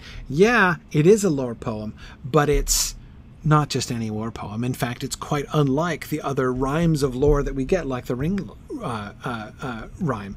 Um, one of the trends that we can notice when we look, um, you know, one of the trends I was noticing when we did uh, the Tolkien's poetry class at Signum was most of the most of the rhymes of lore are trochaic. That's a pretty standard thing for the rhymes of lore that we get.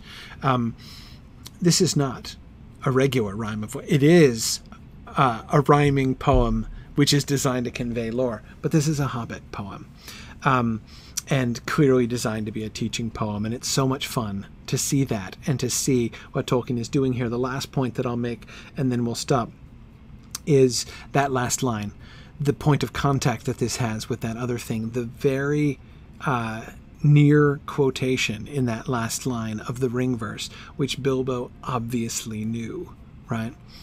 Um, for into darkness fell his star in Mordor, where the shadows are. Um, it is amazing to think about. Um, it is amazing to think about Bilbo in the Shire, right, with the ring of power in his pants pocket, composing this poem and quoting the line from the the elvish lore. Um, remember, Bilbo didn't know he had the Ring of Power in his pants pocket at the time, right? But he obviously did know uh, the the ring the the the the ring poem, right? Um, Gandalf introduces it to Frodo as a rhyme long known in Elvish lore, right? And Bilbo has presumably come across it at some point. There's no reason to think that Bilbo wouldn't have heard of the Rings of Power, uh, and even have have uh, seen or heard the rhymes of lore. He's probably read the ring lore, the ring poem before, right? That doesn't mean he necessarily knows it has anything to do with the ring in his pocket, right? Uh, Gandalf says that he didn't know, right, um, uh, when he gave it to Frodo. And we can see that we know uh, back from chapter one uh, that that's not what Bilbo was thinking. um, even before Gandalf assures Frodo that Bilbo knew no more than he told him, right, and that he would not have wanted to give it to Frodo if he knew that he was putting in, Frodo into the kind of danger that he was and would have been. Um, but yet he echoes that ring poem here. And again, so I don't think that this, I don't think that we can see this as Bilbo making a, a point, right? And I don't think this is the ring acting on him uh, and affecting his poetic composition. Um, that would seem a peculiar thing, I think, for the ring to do. Um, I think it's just a coincidence, essentially, right? Um, or you know, I, I think I think it is it is this is a chance if chance you call it kind of thing that when thinking about the fall of Gil-galad in uh, in Mordor, he uh, thinks about the Ring of Power, right? Uh, and the ring lore that he's had. And so when he's describing Mordor, he immediately goes to the line from the poem, right? From, from the ring poem in Mordor, where the shadows are. Um, it is an obvious allusion for Bilbo the poet, Matt. That's just exactly how Bilbo would think. Um, uh, and, uh,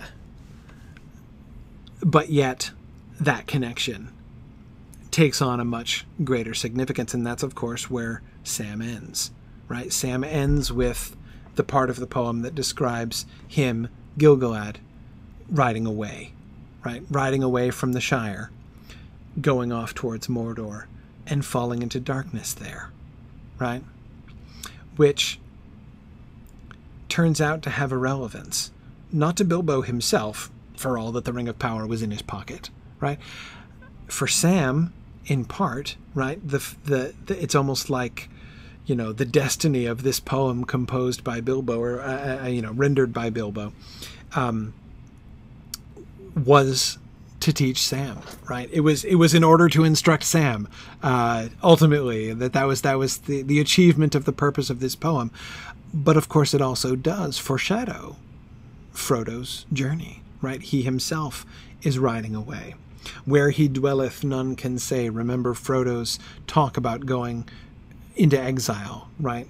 Fleeing from danger into danger. Where he dwelleth, none can say. You know, he's going to go there and not come back again, for as, as far as he can tell, right? Um, and uh, his star may yet fall into darkness in Mordor, where the shadows are.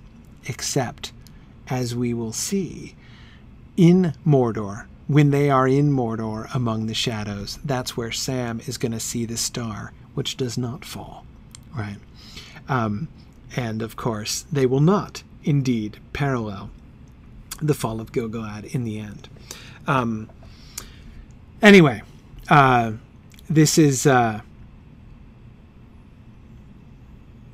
really awesome right? I'm really glad we got to the poem today. I know you guys were hoping we would get to it next week, and then you were thinking we might not even get to it tonight. Oh, one other thing that I wanted to um, uh, recommend uh, Steve.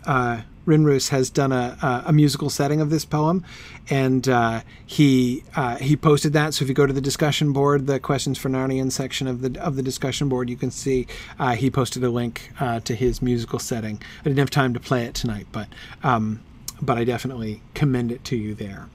Um, so okay, I'm gonna I'm gonna I'm gonna end with this. What better place to end than with the poem here, and then we'll pick up on uh, the reactions to the poem afterwards and Sam's sort of explanatory words uh, there.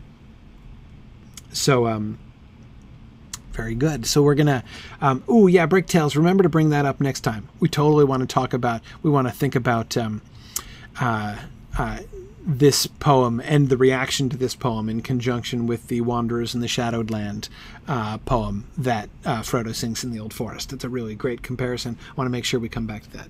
So, uh, Bricktails, it is your job to remind me to uh, make that connection next time. Um, awesome. Okay, cool. Um, thank you, everybody, for joining me. I'm going to say goodbye to the folks on Twitter. I hope I was right side up today. Uh, that's been my modest goal. Periscope has been playing some odd games uh, lately, so sorry about that. Uh, I hope uh, I hope I was able to look you straight in the eyes here this evening. Uh, so thanks. We're going to be switching over to twitch.tv slash signumu uh, for the rest of our discussion here. I'm going to hit the, see if I can hit the X here, which I never seem to be able to do with that hand. Okay, awesome. Um, yeah, we'll see. Yeah. I don't know if it's uh, if I was the inverted Corey. Last week, apparently, I was 90 degree rotated Corey, so I have no idea what's up with Periscope. But okay. Incredible inverted Corey. Yeah, I know, right? Um, okay, so. Good evening. good evening. Valori, thanks. Uh, glad you're back. Yay. I'm glad to be back. Yes. Okay, so um, today in our field trip, we are going to continue our exploration of the area around um, the area around Weathertop. Uh, of course, we made it nowhere near to the top of Weathertop in the book today, uh, which I didn't really expect that we would. Uh, so we got to the base of Weathertop last time. We found that path coming down from the north. Um, oh yeah. And um, I'm going to uh, uh, so instead of continuing and going up Weathertop, we're going to wait until we get to the passage describing the top of Weathertop, and then we'll go up there. So hopefully, hopefully, next time we'll see. Um, mm-hmm. uh, oh shoot, I forgot to mention class next week. Class next week is happening normally, so I guess it's okay that I didn't mention it. Um, Okay, so uh, we're gonna, but we are gonna head out to the Lone Lands. Um, so let us uh, let us head out. So let's we're gonna we don't need to really go to the stable master. We can just mount up and ride there. Sweet. Um, we're going towards the Forsaken Inn. Is where we're gonna go. All right. So I have a fun little Lord of the Rings story oh, yeah? this week.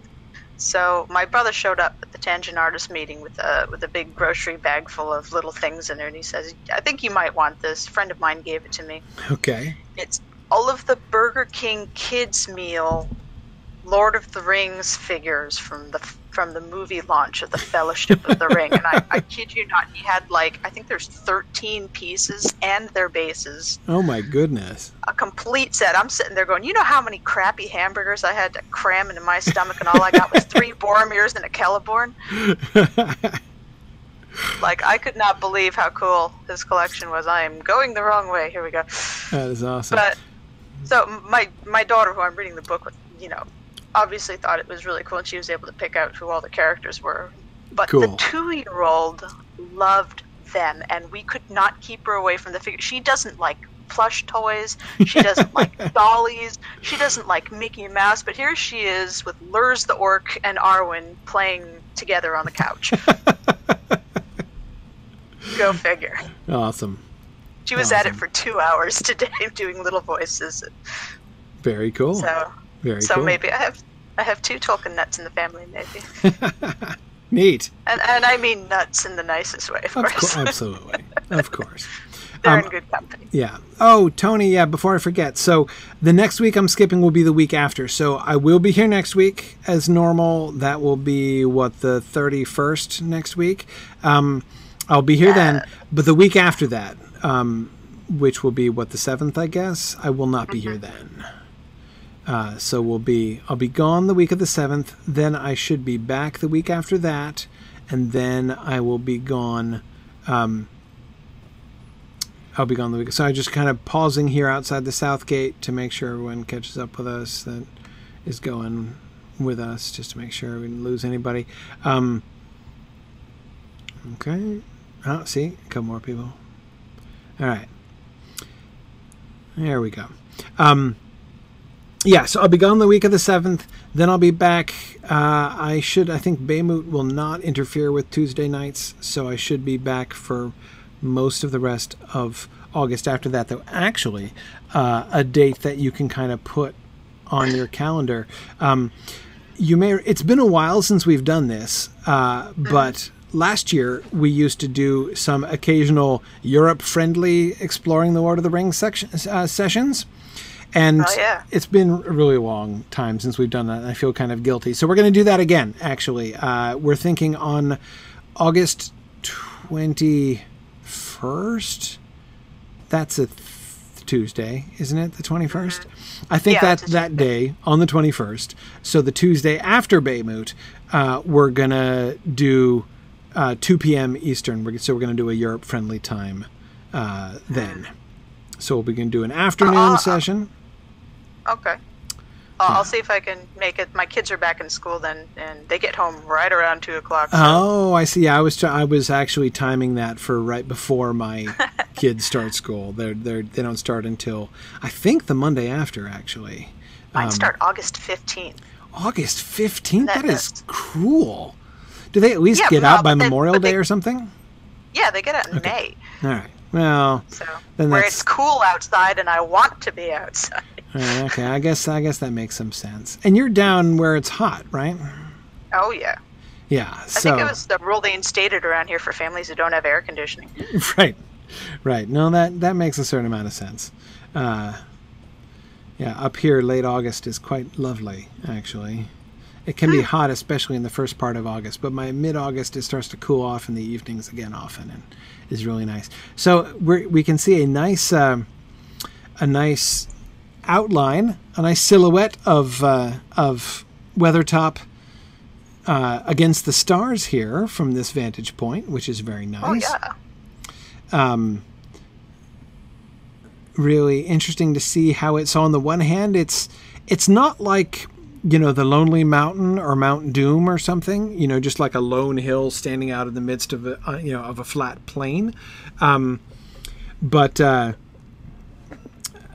you know, it is it is in a line of hills, but it certainly is very prominent among those hills, and it mm-hmm. um, the the the way that they've done the ruins. We'll talk about this more when we get there, but just thinking about it from the side, we can see the sort of irregular. You know, th- those are obviously ruins that we can see they're jutting out rather than natural outcroppings of rock. So you can already see even from here that they have made the tower much more than just a ring of stones on the top of the hill.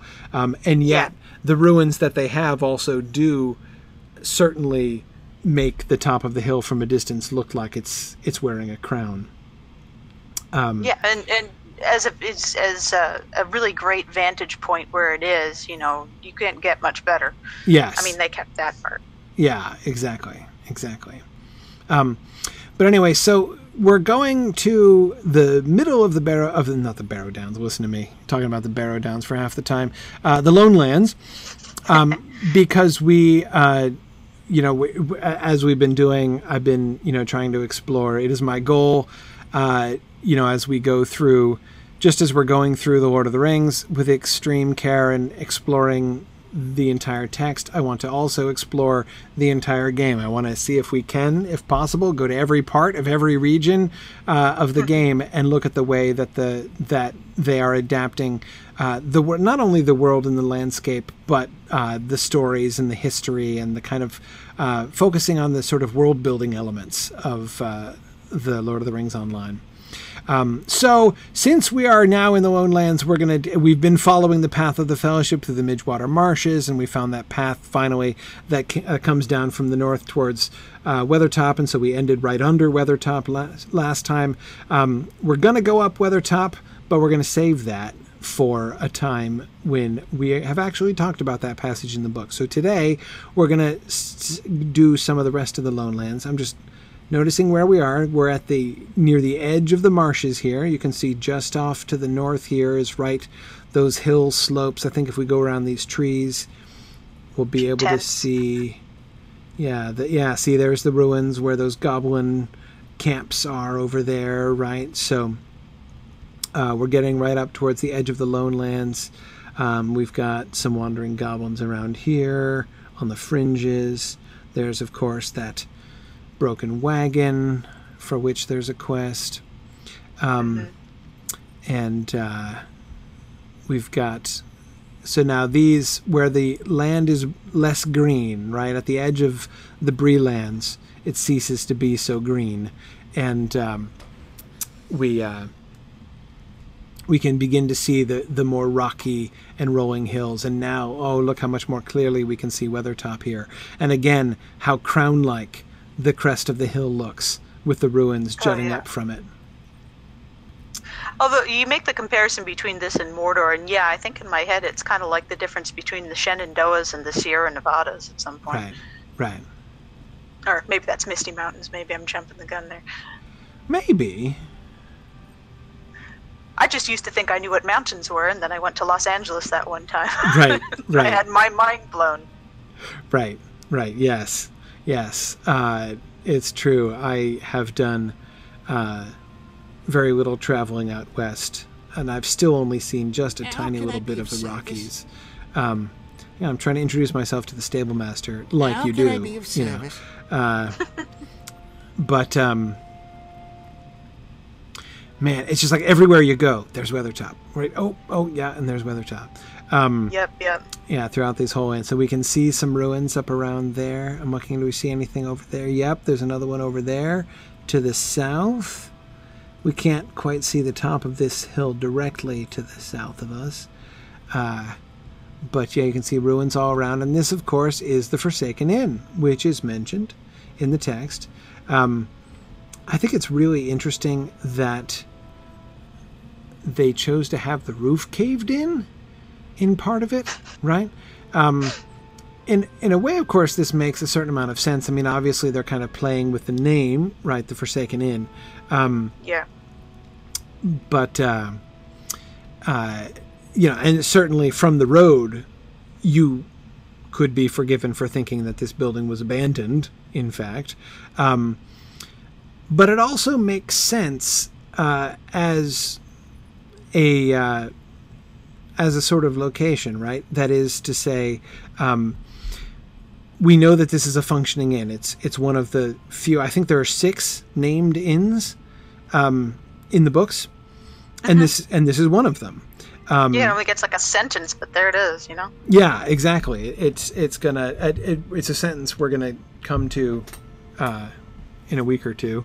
Um, but um, ah, Trifle mentions there sh- should be a moot in Colorado. You know, we're we were working on that. Uh, our plans for Denver moot seem to be falling through, but uh, still very interested in doing that. Uh, if there's somebody who's going to be around uh, who would uh, uh, who would want to help with a Denver moot, uh, I would still be interested to do that if we can get that worked out. Um, Altitude moot. Yeah, yeah, yeah. I think we would call that mountain moot. Uh, but Yeah. anyway, let's go into the Forsaken Inn. But, so anyway, so th- we know this is a functioning inn, as we say. Yeah. Um, Dis- despite having, you know, aerial coverage. Yeah, exactly. Um, we so we know we know it's a functioning, and as we can see here, right, we come inside and immediately we see, no, yeah, we're just kind of open to the sky over here. Yep. Right? That's fine. Like we're we're just living with that. It, it gives you a certain sort of, uh, uh, there's sort of an acceptance of, well, it's not going to get any better than this out here. Yeah, it's uh, so you know it's it's rough. You know, it gets uh, it gets drafty here clearly. Um, but also, you know, I, I, I don't know. You, you kind of get the sense of like you know abandoned parts of the building, and this this inn obviously has seen better days, right? Um, Hive of scum and villainy. it, it is like a hive of scum and villainy. Um, uh, but um, but it beats sleeping outdoors. it does, and of course, this area, you know, this is the this is this the the way the place the way that this inn is mentioned in the book, of course, is that it's like the last civilization, right? Uh, on the way out towards Rivendell. So when you go out from Bree towards Rivendell, this is the last outpost. Homely house. yeah, this is the this is the last homely house till you get to the last homely house. You know. Um, uh, and yeah, JJ says the last less than homely house. Well, see, it all depends on your point of view, right? If Rivendell is your boundary, then you know, yeah, Rivendell is the very last homely house. This is kind of the penultimate homely house, but it's really semi-homely. Um, No, it's like it's both meanings of the word homely. Rivendell means it's like home, and this one means it's butt ugly. yes, exactly, exactly. Um, but uh, but yeah, so it, it's but this place is mostly abandoned. Not only the inn, but but but the land. I mean, we're told that nobody lives here uh, between Bree and Rivendell. That it's mostly abandoned territory, and so you know this inn is sort of the last decaying remnants of uh, civilization, and and and therefore I'm also kind of interested in the architecture of the inn as well. Um, you notice from the outside, which you can almost see from here, right? Like, can you can you see through the skylight? Um, anyway, it's it looks like it looks like Bree architecture, right? Mm-hmm. So yeah, your plaster and timber. I don't think um, I don't think that this is designed to suggest like this is a remnant of the old days when you know the people of Bree used to be far more spread out, and, and, and but you know now there are fewer of them, and they've kind of contracted into the Bree land. I don't think that's necessarily true. Um, it seems more uh, as if because again you know strider doesn't give any sense that there used to be more people who used to live around here right? I mean he said that even the dunedain never lived out here that although they came and they established a watchtower there and they defended it they had like military duty out at weathertop even they never lived out here. Um, so the idea of having it in like this you know what it what it makes me think of is what they did in the game with um, with with adso's inn right? The guy mm-hmm. who wants to build an inn between the Shire and Bree. Mm-hmm. Um, and uh, you know, and that's of course not in the books at all, but it's uh, but it's an interesting uh, sort of concept in the game. You know, having this sort of intrepid hobbit who is uh, uh, wanting to set up shop uh, here, and of course, it is through his actions that we're introduced to a lot of the brigandage that is brewing right in the Breeland wilderness, and has not yet spilled over into Bree, as we know it's going to do when they have their real set to. Yep. Um, but um, but anyway, so this idea that you know, so it, that's what it makes me think of. That like somebody at some point in the past. Um, uh, came out to here and was like, "There's a road here. There's an ancient road here, and sometimes people travel on it.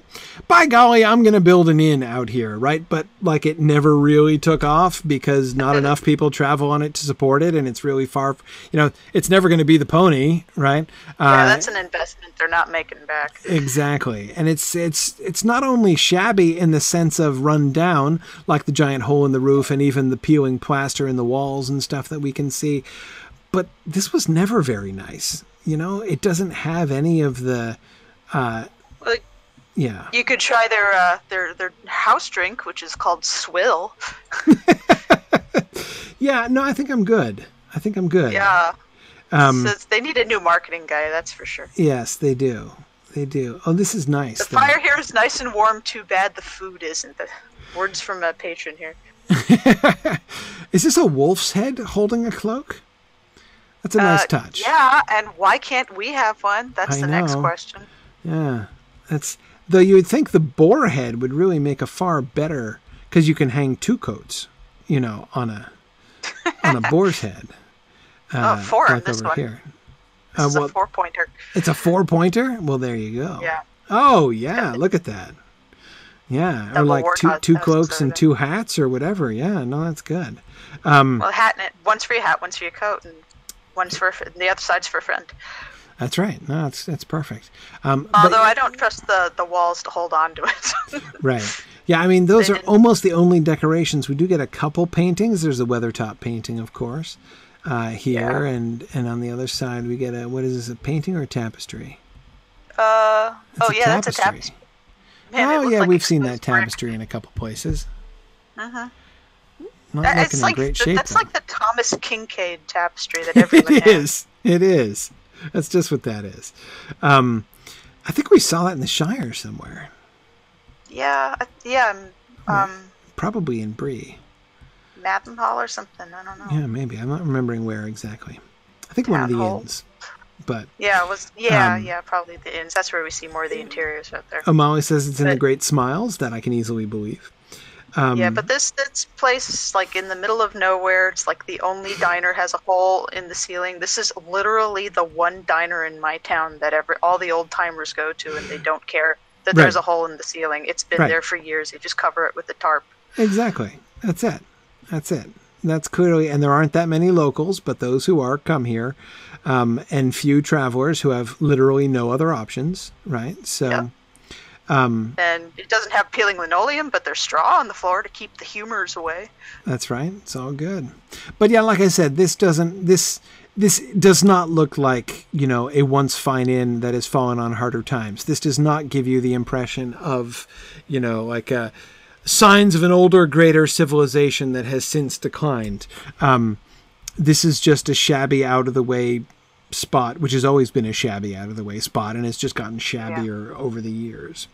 Um, now, do we think? Uh, sorry, go on. no, think, no, it's okay. Do we do we think some of the, the the shortcomings in the food and the drink here might have something to do with how uh, the resources for the land?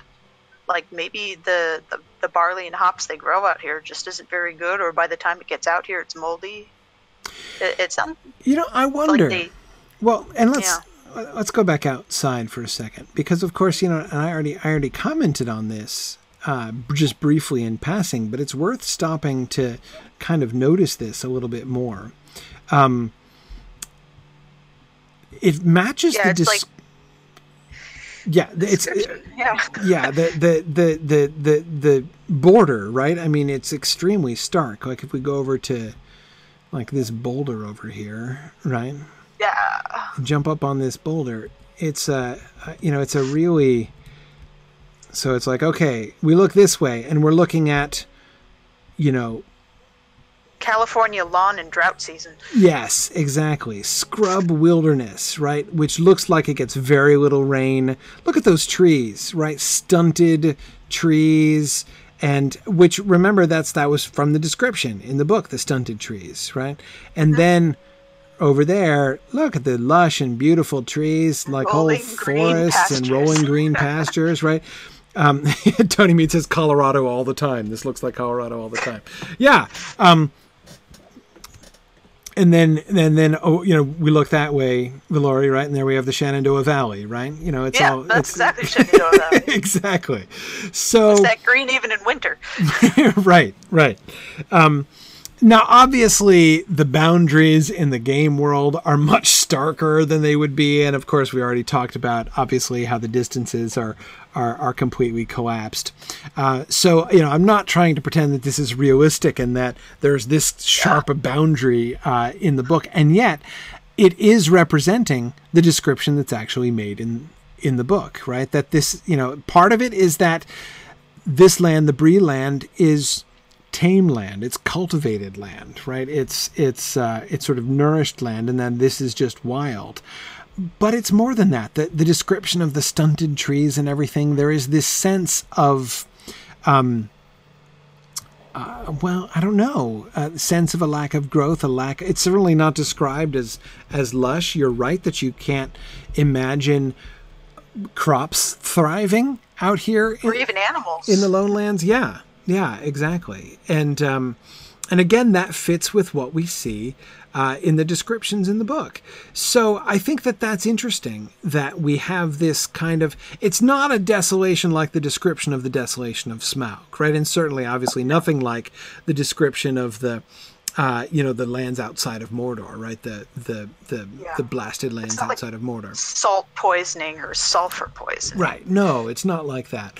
Um, no. But it is a very different kind of country, not good farmland at all. Mm-hmm. Um, and that I think is is part of the. Um, you know, so one of the things that they are really picking up on here is that is that shift, and to me, it's very interesting because they pick up. I think they in the way they've constructed the lone lands in the game world, they have both picked up on a correlation which is drawn seems to me to be drawn directly from the books and also seem to be developing a thread which is not explicitly there in the books, but which seems to kind of fit the spirit of what they're describing. Um, the first thing that I'm talking about is the correlation between the absence of people and the barrenness of the land, right? Um, yeah. The primary thing that we know about the Lone Lands is that nobody lives there, right? And then with the description of the of the hills and the stunted trees and stuff, we're kind of invited to imagine that uh, people don't live there for a reason, right? That that um, its lack of people is not coincidental, is not sort of um, cosmetic, right? But it's part. You know, there is something about this land that is inhospitable to living and growing things. Again, not full out, you know, plains of Gorgoroth kind of inhospitable to to, to living and growing things, um, but still kind of hostile. Phoenix, Arizona. Yeah, yeah. Again, not not desert, you know, not arid exactly, but but but yeah, just. Um, uh, it's not impossible to live there, but but but maybe unwise. No, just kidding. You're, you're um, definitely you're definitely tempting the wrath of some god or other by attempting it. Right. I mean, the way that the impression that uh, that is given, especially in The Hobbit, as they pass through this this area. It's not just a place where nobody happens to live, but a place where no decent person would ever want to live. You know, um, and there in the Hobbit, that's primarily emphasized by the description of all of the um, of the ruins and things like those old castles that you know those old evil looking castles that look like they were built by wicked people. Um, you know, the only people who ever seem to have lived here seem to be sketchy, right? I mean, there's something about this land, which is really uh, which is really sort of harsh. So that's one thing that I think that they the games the game in their depiction of this land seems to have picked up on right the the the the presence of the ruins, uh, the correlation with um, uh, with you know between apparent abandonment and the the active sort of desolation of the countryside. That seems to be a thing straight from the book, and I really, really like that. I've always liked the Lone Lands. Um, I mean, of course, obviously, eh, you know, they were one of the first other places that I saw uh, when I first started playing the game. When I first started playing, I, I, you know, I started Wiggend was my first character, and I started him in Bree, uh, and so you know, I, I went all the way through the Bree lands, and and the Lone Lands was the second place I ever went to, and so you know, after I had gotten I didn't see the Shire, by the way. The Shire was like the fourth or fifth region that I ever went to, actually. Um, I, I, I, hadn't been to the Shire much at all. Um, anyway. That does um, surprise me. Yeah, yeah. Um, anyhow, um, but I was really struck by it because, of course, when I first started playing the game, you know, first it's just like, hey, wow, look, I'm in Archet, I'm in Bree, you know, I'm, you know, and just like focusing on the, the kind of tourist thing that I talked about Aragorn doing. Yeah, exactly. Yeah, but no, um, I get that. But then, but of course, in the course of that tourist work, right, I became acclimated to Breeland, right, and I'm, uh, and I was, you know, Breeland became like my normal default frame. So the, the Lone Lands was the first sort of other countryside I came to, and I was immediately struck by how well I thought they captured um, not only the physical description of the land, um, but the just the sense that you get riding through it. You know, and I could I could uh, think and feel very much both some of the descriptions we've been reading in the last couple weeks and also that sense given in The Hobbit of Bilbo's experience of passing through this land. Um, so I, have always, although you know, it's not like the Lone Lands are my favorite part or uh, of the game or anything, but um, I've always really, really appreciated uh, the uh, depiction of the Lone Lands. I think they don't get enough credit when people talk about awesome places in the game. Uh, you know, where a lot of really uh, interesting and creative work has been done. The, I, I uh, got a soft spot for the Lone Lands. I really yeah, yeah.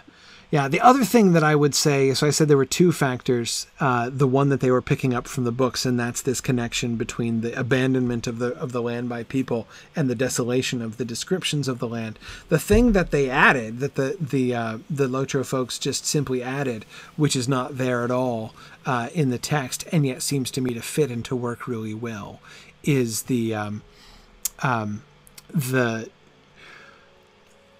the active torment of the land that they have put in. And that's, of course, I'm thinking of the Garth Agarwen story um, and how, you know, we come in here and it looks desolate, right? Not just, not just kind of rugged, but like, is there something wrong here? And the Forbidden Inn, or the Forsaken Inn, sorry, it's not forbidden, it's just Forsaken. Um, the Forsaken Inn is um, uh, part of that, right? You, you come in and the only habitable structure that you see is you know looks like it's it's practically a it's ruin only barely habitable. Exactly right. Um, and uh, anyway, so um, I uh, I really like how as you go through the Lone Lands and deeper in, both in the sake of you know advancing through the local quest lines, uh, but also physically traveling further uh, uh, off into the east in the Lone Lands, you come to like where things get sketchier and sketchier and the land becomes actively tormented uh, and you come to the fact that there is something deeply wrong here in the lone lands and that you know there is this ancient problem in the lands and that you know with the implication of perhaps that's one of the reasons you know this land has long needed healing um, and uh, you know has been uh, has been enacted so i mean there's a reason why the land looks wicked to bilbo you know as he comes Yeah. riding through why he gets such a creepy feeling when he's riding in this area And that's a theme that they keep going throughout the game in different worlds as well, like we saw as Meningmar. Yes. Yes. Yeah, exactly. Exactly. And it's um it's you know, it's it's not Ang it's not Mordor, it's not Angmar, you know, it's it's uh it's not even Moria, but it's you know, it's like a a a, a, a faint sort of yeah, sort of like junior league version of that. It's it's you know, like this this is sort of a, a closer to home um not quite as dramatic. You know, no major evil wizard lives here, and yet um, it's uh, it's it's very striking. And there's the ruins of Amon Sul that we can see right up behind uh, the Forsaken Inn. So cool. All right. Well, uh, it's getting late, as it always gets late so early uh, as we're doing this. Um, this is a sort of introduction in some way, and we, we were following the path of the fellowship before. We'll see how far we get in the text next time. If we get to the top of Rivendell, or to the top of Weathertop, not Rivendell. If we get to the top of Weathertop next time, then we will explore the the hill of Weathertop uh, next week. Uh, if we don't, then I want to carry on exploring uh, down here. There are a bunch of uh, uh, of ruins and interesting features down here in the Places. western and southern parts of the Lone Lands that I would really like The to Wicked Men houses, explore. yeah. Yeah, exactly. uh, so I want to I want to look at some of those things, and uh, very good. So we'll do that, um, or we'll go up to Weathertop, one or the other. Uh, we'll get around to both of those things sooner or later. Okay, yeah, Terlonia. I'm not suggesting we get to Rivendell next week. That would be that would be crazy. Um, yeah, though maybe we should just do you know maybe for uh, in the uh, fundraising campaign this year we should do a a marathon exploring the Lord of the Rings class where we actually Yeah. do like 10 pages of text or something like that. Oh Uh, man. That would be really fun. like, let's do a whole chapter of the text in one go. As Oh, long as we have potty and coffee breaks. Yeah, we would have to. We'd have to. Have, it, would, it would be like an eight to ten hour class, but that'd be kind of fun. I've never actually done. I've done marathon Lotro streams. I've never done like a marathon teaching session before. I've done. Palooza! I've done marathons with like multiple segments in a row, but I've never done one singular thing before. So, yeah, it's- Yeah. just- sorry, I just like, totally maybe thought of that chapter. idea. So, Like maybe, like maybe pick the Council of Elrond or something would be a good one. that. yeah, that would be a that would be a marathon, all right. Uh, yeah, yeah. Given that it takes almost an hour just to read through the Council of Oh. Elrond. My daughter making me take that in chunks, and she's like, "Okay, okay, stop there. That's Yeah. all I can handle tonight." Mm-hmm. Well, yeah, but I have to go to bed now. So tired, mom. yeah, exactly, exactly. Um, yeah, that's why I um, um, that's why I. So when when we did the site visit up in Concord, New Hampshire last week, uh, last Tuesday, I had uh, we we had several of our webinar sessions open for different interviews that were going on at the same time. Um, but we had one central webinar session that was running all day long, and that it was based in the boardroom. Um, so I was like, okay, so it's a it's a, a discussion located in the boardroom that goes on all day long. So I I, I, I named it.